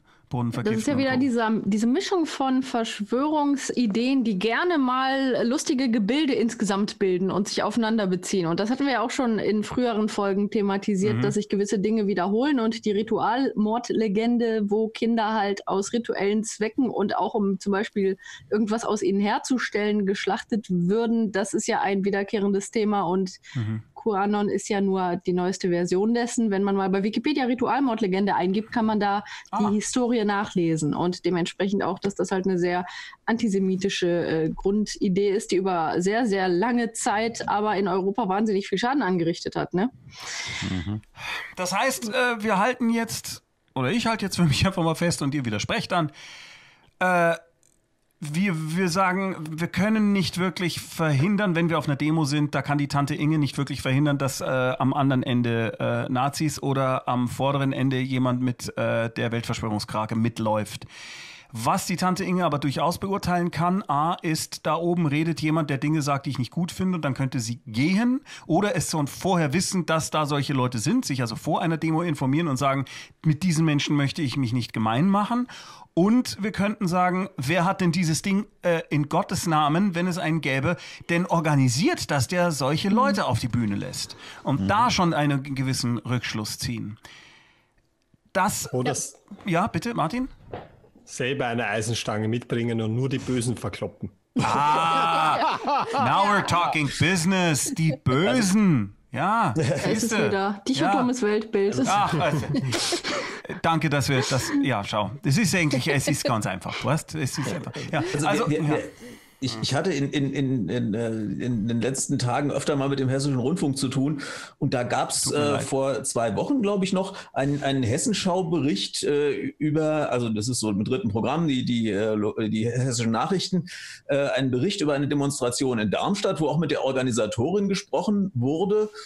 Ähm, und wo mir die Journalisten auch gesagt haben, naja, das ist, äh, das ist alles, das waren ganz normale Leute, die machten sich Sorgen um ihre Grundrechte. Und dann sieht man an anderer Stelle Bilder, die auf dieser Demonstration gemacht wurden. Ich weiß nicht, wer auf dieser Demonstration auf der Bühne stand, aber ich weiß halt, dass da, dass da jemand äh, saß mit einem Transparent, Anne Frank wäre bei uns. Äh, wo ich, also, äh, mir dann schon die Spucke wegbleibt. Ja. Aber das ist doch, ist doch eh ein, ein spannendes Ding, wo ich, wo ich mich auch langsam aufrege, dass äh, immer wieder auch mal auch von Experten in den Medien im Moment so der Satz kommt, naja, Verschwörungsmythen, lasst uns das mal nicht so hochhängen, weil mhm. im Grunde genommen ist es ja auch alles gar nicht so schlimm. Das habe ich tatsächlich ein, zwei Mal gelesen, habe mich da sehr drüber geärgert und ich, ich fand, ich habe damals, als es um den äh, Eurovision Song Contest ging und äh, besagten Herrn Naidu, habe ich sehr mhm. laut im Netz meine Klappe aufgemacht, habe gesagt, es kann ja wohl nicht wahr sein, dass wir jemanden, der die Rechtschaffenheit der Bundesrepublik Deutschland leugnet, als Vertreter dieses Landes zu einem Contest schickt. Ob der jetzt Sinn macht, dieser Contest oder nicht, sag mal, hm. Äh, dahingestellt, ja. Das kann ja nicht passieren. Und wenn wir uns erinnern, was dann passiert ist, dass es eine ganzseitige Anzeige in einer großen Tageszeitung gab von Leuten, die vollkommen undifferenziert. Und das unterstelle ich Ihnen bis heute. Und wenn ich davon einen treffen mhm. würde, würde ich ihm das auch ins Gesicht sagen. Sagen, nee, das ist alles gar nicht so. Das ist ein total netter Typ da muss man sagen, nein, das ist ein Reichsbürger und das war damals schon Reichsbürger. Und man hat den aber immer gewähren lassen. Und es hat mir viel zu lange gedauert, bis auch Mediensender, bei denen er war, gesagt haben, wir können uns damit nicht mehr identifizieren. Jetzt ist auch mal Schluss mit dem, was ja, er sagt. Von den und, Fanta 4 hat doch einer vor kurzem irgendwie gesagt, um Gottes Willen, ich habe da damals unterzeichnet. Uh, ja, peinlich. Mhm. Alles, ja. alles, kann ja alles passieren. Mhm. Äh, ja, also ich will jetzt auch keinen Vorwurf äh, oder sagen. Ach doch, ich finde, das kann man schon machen. Doch, bisschen, doch, doch, bisschen, doch, Ich finde aber, wir sind jetzt an einem Punkt und auch in dieser, in dieser besonderen Situation, in der wir uns gerade befinden, dass wir nicht mehr sagen können, Verschwörungsmythen können wir mal ganz an die Seite legen, das ist gar nicht wichtig. Doch, das ist ein gesellschaftlich wichtiges Thema und äh, auch die Ereignisse weltweit ja insgesamt, ja, ähm, äh, Utøya, der, der, der, der, der Amoklauf, ähm, äh, dann in Neuseeland äh, der Amokläufer, das sind ja alles Menschen, die sich im Netz in diesen Geflechten von äh, Verschwörungsmythen radikalisiert haben. Man kann in den Einzelfällen immer gucken, was waren das für Persönlichkeiten, warum haben die sich vielleicht besonders gut radikalisieren lassen. Das sind Dinge, aber das findet statt und es findet nicht nur in Deutschland statt, sondern es findet weltweit statt. Und ich finde, wir haben als Gesellschaft langsam die Pflicht, da ein bisschen genauer hinzuschauen und Wie, nicht zu sagen, ja, ich habe das noch nicht erlebt, deswegen ist das nicht so wichtig. Ja, ja, äh, ich bin da äh, generell absolut bei dir oder äh, bei euch. Mir geht es nur nicht so richtig zusammen mit der ich darf ja äh, meine Meinung haben und sie auch laut äußern. Denn wie zum Teufel soll man eine Verschwörungstheorie, die ja nichts weiter als eine Meinung oder ein Glaube ist und kein Fakt und kein gar nichts, ja, sondern nur Bullshit, der trotzdem gesagt werden darf. Wie kann ich das einnehmen? Ich könnte höchstens in Social Media sagen, äh, wie das jetzt zum Teil auch schon geschieht. Das wird gelöscht von dieser privaten Firma, die äh, Geld mit Social Media verdient. Äh, XY, egal wer das jetzt ist. Die können es, aber es kann doch nicht von Gesetz wegen gesagt werden, du darfst jetzt keine Verschwörungstheorie mehr verbreiten. Mhm. Ist, eine Oder gesellschaftliche, doch? ist eine gesellschaftliche Aufgabe und insbesondere dann, wenn natürlich Verschwörungsmythen dazu geeignet sind, anderen Menschen Schaden zuzufügen. Ja? Dann sind sie verbietbar. Oder was? Ja, oder aber auch, also wir müssen einfach darüber reden, dass das ein reales Problem in unserer Gesellschaft ist. Also das muss hm. mehr nach oben kommen und es muss mehr thematisiert werden. Es muss nicht kommen. Ich habe es auch, ich habe, wir alle sind ja im Moment ständig angefragt in den Medien und sollen was zu dem Thema erzählen. Äh, so. Und ganz häufig kommt dann so ein Nachsatz, ja, wir haben lange überlegt, ob wir einen Beitrag machen zum Thema, weil eigentlich, wenn wir darüber reden, dann holen wir das ja auch aufs Tableau und wir haben dann immer gesagt, vielleicht machen wir es doch lieber nicht, weil wenn man nicht drüber redet, dann wird, machen wir dieses Thema ja auch nicht bekannt. Das ist so der Zwiespalt, in dem sich viele Redakteure auch befinden. Ich kann das total nachvollziehen. Ich kann es total nachvollziehen. Aber ich finde eben, äh, entschuldige, wenn ich da, da muss ich kurz dazwischen gehen, ja. weil mir das Thema eben äh, die ganze Zeit äh, begegnet. Ähm, in dem Umfeld von wegen, äh, wie es auch jetzt mit der, mit der Nazi-Problematik ist, dass man sagt, ja, aber wenn ich doch jetzt da den Leuten insofern eine Bühne gebe, dann er, erhebe ich sie doch zu einem diskussionswürdigen Thema mit diesem Bullshit. Und das kann ich nachvollziehen, weil es ein False Bias ist, dass ich sage, mhm. äh, ich kann doch jetzt nicht ernsthaft mit euch über QAnon reden. Aber das aber, ist, ja, genau. Ich wollte kurz sagen, das Problem ist ja, dass es diese Parallelinformationskanäle gibt, die eben sehr stark mhm. sind. Mhm. Und dort werden diese Sachen ja extrem stark ja. gefördert. Das heißt, es ist gar nicht mehr möglich, sie zu ignorieren, weil die ja sich verbreiten. Es ist wirklich, glaube ich, das Einzige, was man tun kann, doch auch Stellung zu beziehen und Fakten dagegen zu tun. Aber nicht nur Fakten, sondern auch die Kosten aufzuzeigen, die Folgen, die das hat. Deswegen finde ich es auch äh, sehr sinnvoll, das habe ich vor einiger Zeit gemacht, ähm, einfach mal auch zu posten, wie junge Menschen, die eben potenziell an Corona sterben könnten aufgrund von Vorerkrankungen, wie die sagen, ich würde gerne nicht sterben. Ähm, mhm. Weil man muss den Leuten auch ein Gesicht geben, weil da sind wir wieder bei dem alten Problem, nur Fakten funktionieren nicht gegen Emotionen. Also nee, muss man im genau. Prinzip Fakten mit Emotionen mischen, um gegen diese emotionalisierten Fake News vorzugehen. Aber man muss ihnen widersprechen, weil wenn sie äh, keinen Widerspruch ernten, dann äh, haben sie überhaupt keine Bremse. Es ist also eigentlich schon wichtig, dass in in Medien auch das aufgearbeitet wird und auf die Argumentation, aber auch auf die Emotionsmechanismen eingegangen wird. Mhm. Immer wieder darauf zu sagen, was ich immer sage, du kannst nicht auf ein Virus sauer sein. Du kannst nicht sauer sein, dass du wegen dieser Situation jetzt Ängste hast und deswegen brauchst du halt einen personifizierten Sündenbock, wenn du nicht reflektierst, dass du gerade ja. halt ein emotionales und lebenstechnisches Problem hast. Die Leute müssen erstmal kapieren, dass es Emotionsmechanismen sind, die sie dann auch äh, öffnen für solche Inhalte, und der ein oder andere kann das vielleicht reflektieren und man muss wenigstens denen, die das können, die Möglichkeit geben, das zu tun, indem man ihnen sagt, wie es funktioniert. Also um da jetzt ganz kurz äh, äh Stellung zu äh, be, äh, beziehen, äh, wie auch jetzt Hector Britschgert schreibt, äh, wenn man Partei, Parteien verbietet, warum schließt man die Kanäle nicht, das begreife ich nicht und so weiter. Ich wäre auch dafür, wenn es eine gesetzlich gangbare einen gangbaren Weg gäbe, das einzudämmen, muss ich sagen, wäre ich mittlerweile auch dafür. Ich bin mittlerweile auch, was die Masern angeht, voll für eine Impfpflicht, weil ich finde, äh, die Menschen haben es nicht hingekriegt. Wir waren offensichtlich als Kollektiv zu blöd. Dann muss die Politik, äh, die Regierung irgendwann sagen, der Staat, dann müssen wir das halt für euch machen, weil ihr einfach zu blöd seid. Und vielleicht ist das jetzt auch bei den Verschwörungstheorien und bei wirklich gefährlichen Dingen auch mal ein Moment, wo man einfach sagt, es tut mir leid, ich als Staat habe festgestellt, ihr als Volk seid einfach zu blöd. Und darum müssen wir euch, oder zumindest die Leute unter euch, die dafür anfällig sind und dann vielleicht andere Leute abknallen, ja, die Leute, die dann vielleicht eben nicht abgeknallt werden, die müssen wir schützen. Vielleicht also in einem Staat, der sein Volk für zu blöd hält, will ich nicht leben. Aber, aber ja, Holm, ja, also äh, das ist, äh, wie, wie, siehst du das denn mit der, Impf, mit der Impfpflicht? Das ist doch das Problem. Wenn genug Leute sich geimpft hätten und nicht zu blöd wären, dann bräuchten wir die nicht. Oder was verstehe ich, was verstehe also, ich falsch? Äh, gut, du bist jetzt bei einem, bei einem, bei einem ganz komischen Thema, aber, aber äh, ich bin ja, tatsächlich äh, so bin nicht äh, für die Impfpflicht gegen Masern äh, weil ich meine, dass wir äh, da durchaus Hebel gehabt hätten. Da geht es ja letztlich darum, die Impfquote von, von, von, von 95, etwas mhm. auf 98, etwas zu, zu, zu bringen. Mhm. Und wir haben so viele Anreize noch gar nicht genutzt, äh, ah, wenn ich überlege, was okay. Leute für, für Klimmzüge machen, äh, wenn sie irgendwo 10 Cent Rabatt kriegen.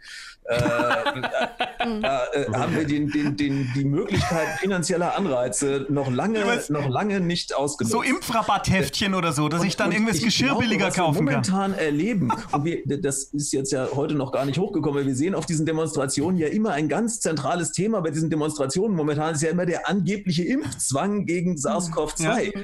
Äh, gegen ein, eine Krankheit, gegen die es überhaupt noch keinen Impfstoff gibt.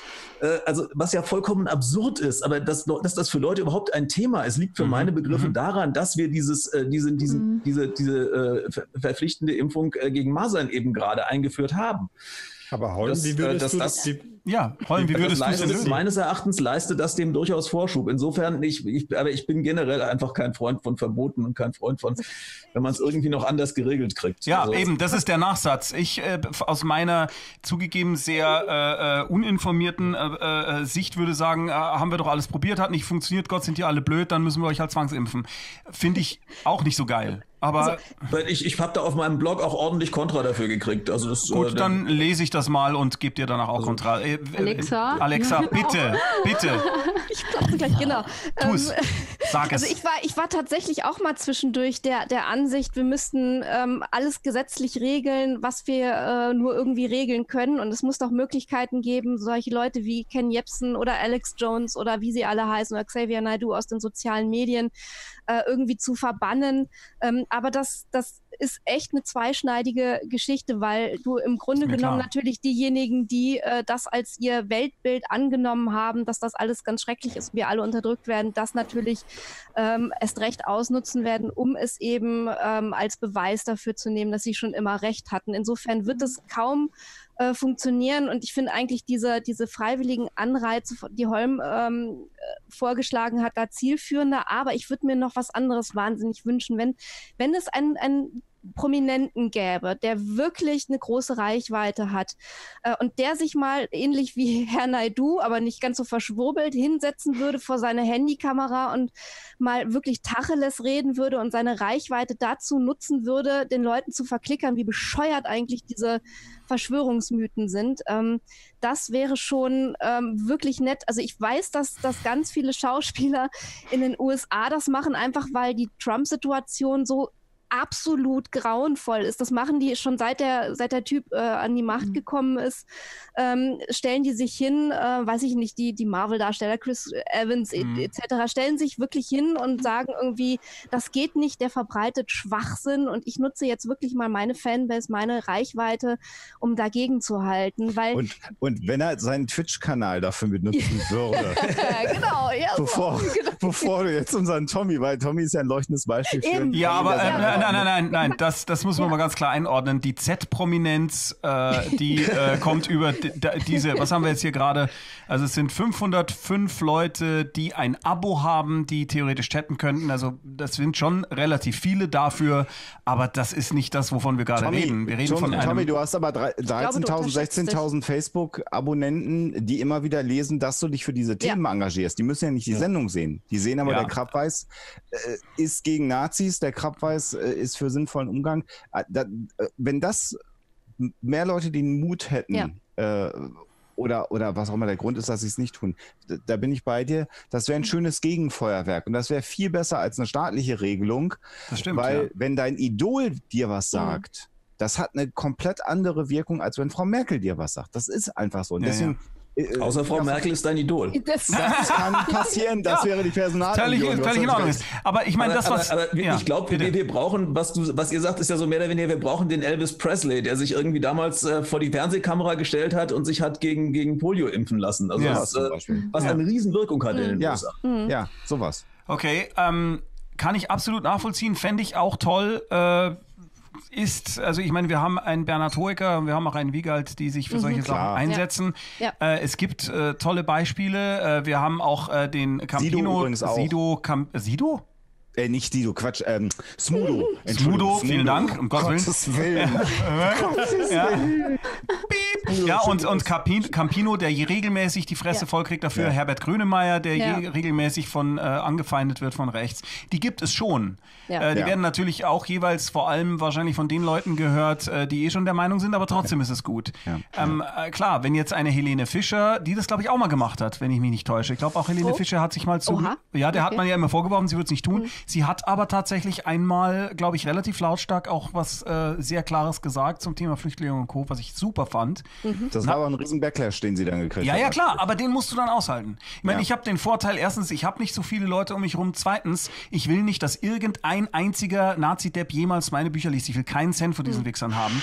Das kann sich vielleicht, das meint sich vielleicht nicht jeder leisten zu können. Das äh, mag sein, äh, aber ja, wenn, wenn man das äh, auch akzeptiert oder wenn man einfach sagt, ich, ich gehe das sogar willfährig ein, wie dieser Jodler aus Österreich, wie heißt der gleich nochmal? Dieser, äh, dieser oh äh, wandelnde Volkstrauertag, wie heißt denn der? Ach, der Gabalier. Ja, genau, der, ja. genau. Der, äh, der das ja, also der mir scheint, der zelebriert es eigentlich eher, äh, klar, der wird sich wahrscheinlich eher nicht negativ äußern. Aber ist ganz also, interessant. Ich hatte nämlich letzte Woche eine Diskussion auf der offiziellen Facebook-Seite, mhm. wo ein, äh, eine männliche Person so schrieb, äh, nachdem ich mal wieder, ich hatte irgendwie was über einen Freund von mir, der ein Buch über äh, seine Arbeit in der forensischen Ethnologie schrieb. Da, da schrieb mhm. dieser Mann drunter, ja, äh, so nach dem Motto, endlich poste ich mal wieder nicht politische Sachen. Habe ich gesagt, äh, Moment mal, ich äh, poste nicht zufällig Dinge, sondern ich poste Dinge, weil ich dahinter stehe. Dann meinte er nämlich, ja, äh, wenn er äh, mein Fan bleiben soll, dann soll ich aufhören, politische Dinge zu posten. Dann habe ich mir sein Profil angeguckt. da war alles drin, was man sich so vorstellen kann, AfD und da habe ich geschrieben, mir persönlich ist ein Rätsel, wie jemand der solche Dinge vertritt, überhaupt auf die Idee kommt, meine Seite zu ja, liken. Ist das ich habe gesagt, seltsam? das ist inhaltlich so un, un ja vereinbar. Ich meine, ich poste sehr oft Dinge, die mit Wissenschaft und Politik und so Dingen zu tun haben und ich verstehe nicht, wie jemand meine Seite liken kann, ja. der gleichzeitig zum Beispiel die AfD liked. ja, schau, schau dich mal Ralf Rute an, der immer mal wieder sagt, äh, wie kommst denn du gerade hier auf meine, wie kann das sein? Ja, das stimmt. Was machst du hier? Aber ja, mach du mal lieber deine Antwort. Witz, mach du da mal lieber wieder weiter deine Witzbildchen. Ja, oder bei Wiegald gerade äh, vor kurzem jemand in einem langen Thread, wo es irgendwie um Corona und Co. ging, jemand äh, dazwischen geschrieben hat, ja, aber was war denn jetzt eigentlich so dein Lieblingsding bei nicht nachmachen?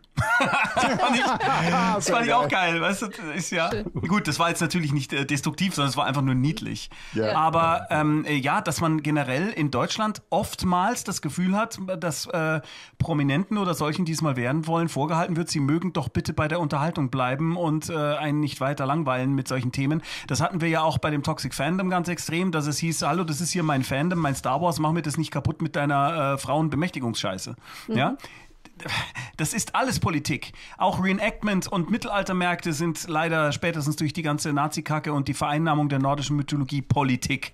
Das kannst du, es, das ist nicht trennbar. Und genauso ist es, und dann kommen wir tatsächlich wieder zurück zu unserem Thema, bei diesen äh, Corona-Protesten, die sind gesellschaftlich relevant, die sind hochpolitisch, das sind sie einfach. Und man kann nicht, man kann es nicht voneinander trennen. Aber wir, wir, wir hatten, wir waren schon so weit, dass wir zumindest in meinem Kopf gewisse Regeln irgendwie uns hindengeln konnten. Wir können gehen, wenn wir etwas sehen, was uns nicht gefällt. Wir können, äh, sollten wir spätestens gehen. Äh, wir sollten spätestens dann nicht hingehen, äh, wenn wir merken, wer da auftritt. Das finde ich wirklich wichtig, weil äh, das ist wirklich eine Möglichkeit, um sich, um, um da mal klar einzuordnen. Und jetzt ist aber noch die andere Frage eben, wo gehen wir, wo gehen wir denn dahin? Welche Kanäle, und das wäre jetzt wirklich das Letzte, was ich hier noch in die Runde werfen will, welche Kanäle haben wir denn, wenn wir uns legitim ohne äh, äh, Nazi-Kram äh, und Co. einfach dafür einsetzen möchten, dass, was weiß ich, dass ich mein Bütchen wieder aufmachen kann, weil ich sonst pleite gehe. Was für Möglichkeiten habe ich denn? Wenn ich da jetzt nicht hingehen kann, weil da, äh, äh, keine Ahnung, Jepsen und äh, die, das Pegida-Volk regiert.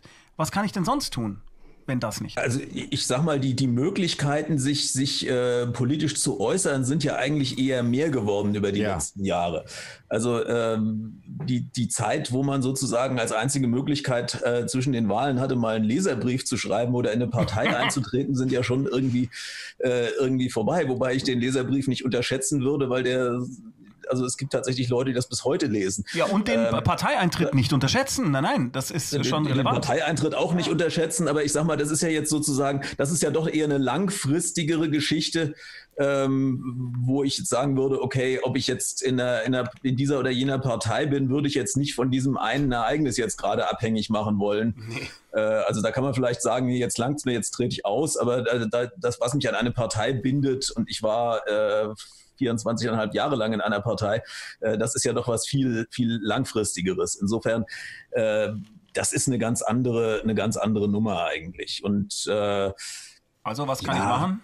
Aber äh, wir haben, wir haben die ganzen Möglichkeiten, sich ja beispielsweise auf Social Media auszutauschen und, und, und sich da zu äußern. Ich kann, äh, ich kann, äh, jeder hat die Möglichkeit, sich als, äh, als Blogger oder in, in YouTube-Videos oder sowas zu äußern. Und da kann man das ja auch dann auch durchaus differenziert tun, wenn man das will. Ja, man wird halt nicht gefunden und keiner wird es jemals sehen, aber man kann. Naja, und man kann ja auch, man kann ja auch, dass ich Unterschriftlisten machen und man kann ja den Politikern auch diese Meinung mitteilen. Das wird ja oft mhm. vergessen, mhm. dass man ja durchaus auch für seinen Wahlbezirk jemanden irgendwo sitzen hat, der Politik macht. Und auch diesen Menschen kann man anschreiben. Wenn wir mehrere mhm. Bütgenbesitzer sind, die kennen sich ja dann auch in der Straße, dann können die sich auch zusammentun und das ha. machen. Da, das ist ich, ich kann meinen Wahlkreisabgeordneten, ja. ich kann das Wahlkreis, das, das Büro des Abgeordneten anrufen und sagen, mhm. äh, hier äh, wird der, mhm. im Zweifelsfall äh, werden die Mitarbeiter des Abgeordneten Abgeordneten irgendwann genervt sein, aber wenn die das gleiche Thema 25 Mal zu hören bekommen, dann äh, äh, und da, da kann man natürlich äh, dann auch sagen, äh, ja gut, das ist halt eine Wertefrage. Möglicherweise muss ich dann muss man sich dann halt outen und sagen, ja, Entschuldigung, äh, mir ist es im Zweifelsfall äh, es, es, es, es sollte uns tausend Tote wert sein, äh, die Geschäfte wieder aufzumachen, weil sonst äh, so und so viel pleite gehen. Also die, da, da muss man natürlich ehrlich sein. Da muss man sagen, okay, ich habe andere Werte als ihr und dann muss man zu diesen Werten auch stehen. Das ist, das ist ein bisschen, was man mit dem Verschwörungsdenken ja auch tut, ist, man, man, man entkommt so ein bisschen aus, dem, aus der Wertediskussion. Ja. Also wenn ja. man sagt, dass die, die Toten gibt's ja gar nicht, dann muss ich mich ja nicht dafür rechtfertigen, dass ich sagen, ich will trotz der Toten äh, meine Kneipe wieder Ganz aufmachen. wichtiger Punkt. Wir haben Leute, die demonstrieren demonstrieren äh, durchaus für ihr für ihr, für ihr Problem, sage ich jetzt mal, das mannigfaltig sein kann, von der Pleite über die viel zitierte Frau, die ich wieder sehen will und so weiter und so fort.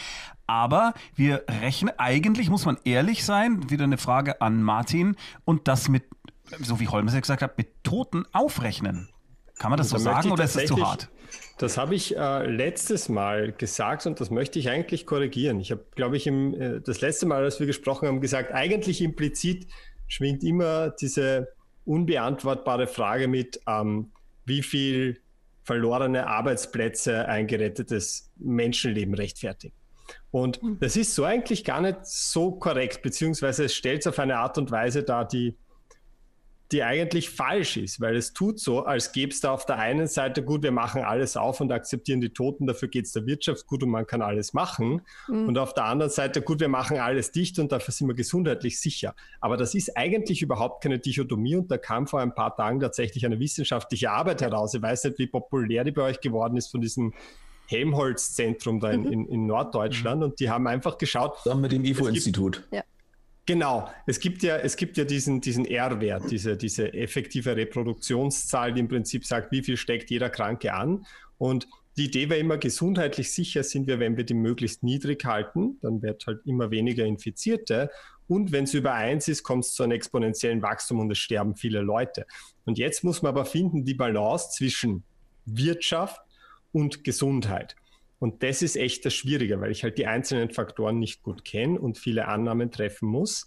Ähm, aber da haben sie jetzt eben diese eine Untersuchung gemacht, die auf vielen Modellrechnungen basiert, ähm, wo sie wirklich mal aus zwei Disziplinen die Daten hergenommen haben, was eigentlich viel zu selten passiert, nämlich aus Wirtschaft und Gesundheit und geschaut haben, welcher Reproduktionswert, welcher R-Wert ist denn eigentlich der, der den besten Kompromiss zwischen Gesundheit und Wirtschaft darstellt. Aber nicht nur Kompromiss, sondern man muss bedenken, wir können nicht einfach sagen, wir lassen diesen R-Wert unendlich also so groß werden. Äh, unendlich wird er nicht, drei maximal mhm. vielleicht, ja. Aber wir lassen ihn besonders groß werden, weil die Tatsache ist halt, wir leben in einer Gesellschaft, wo wir es nicht einfach akzeptieren würden, wenn plötzlich die Spitäler total über ihre Kapazitäten kommen, die Leute nicht behandelt werden können, auch Leute mit anderen Erkrankungen nicht behandelt werden. Das heißt, mit absoluter Sicherheit würden die Maßnahmen wieder strenger werden, wenn dieser R-Wert zu groß wird. Und jetzt muss man sich fragen, was wäre auch aus wirtschaftlicher Sicht der beste R-Wert?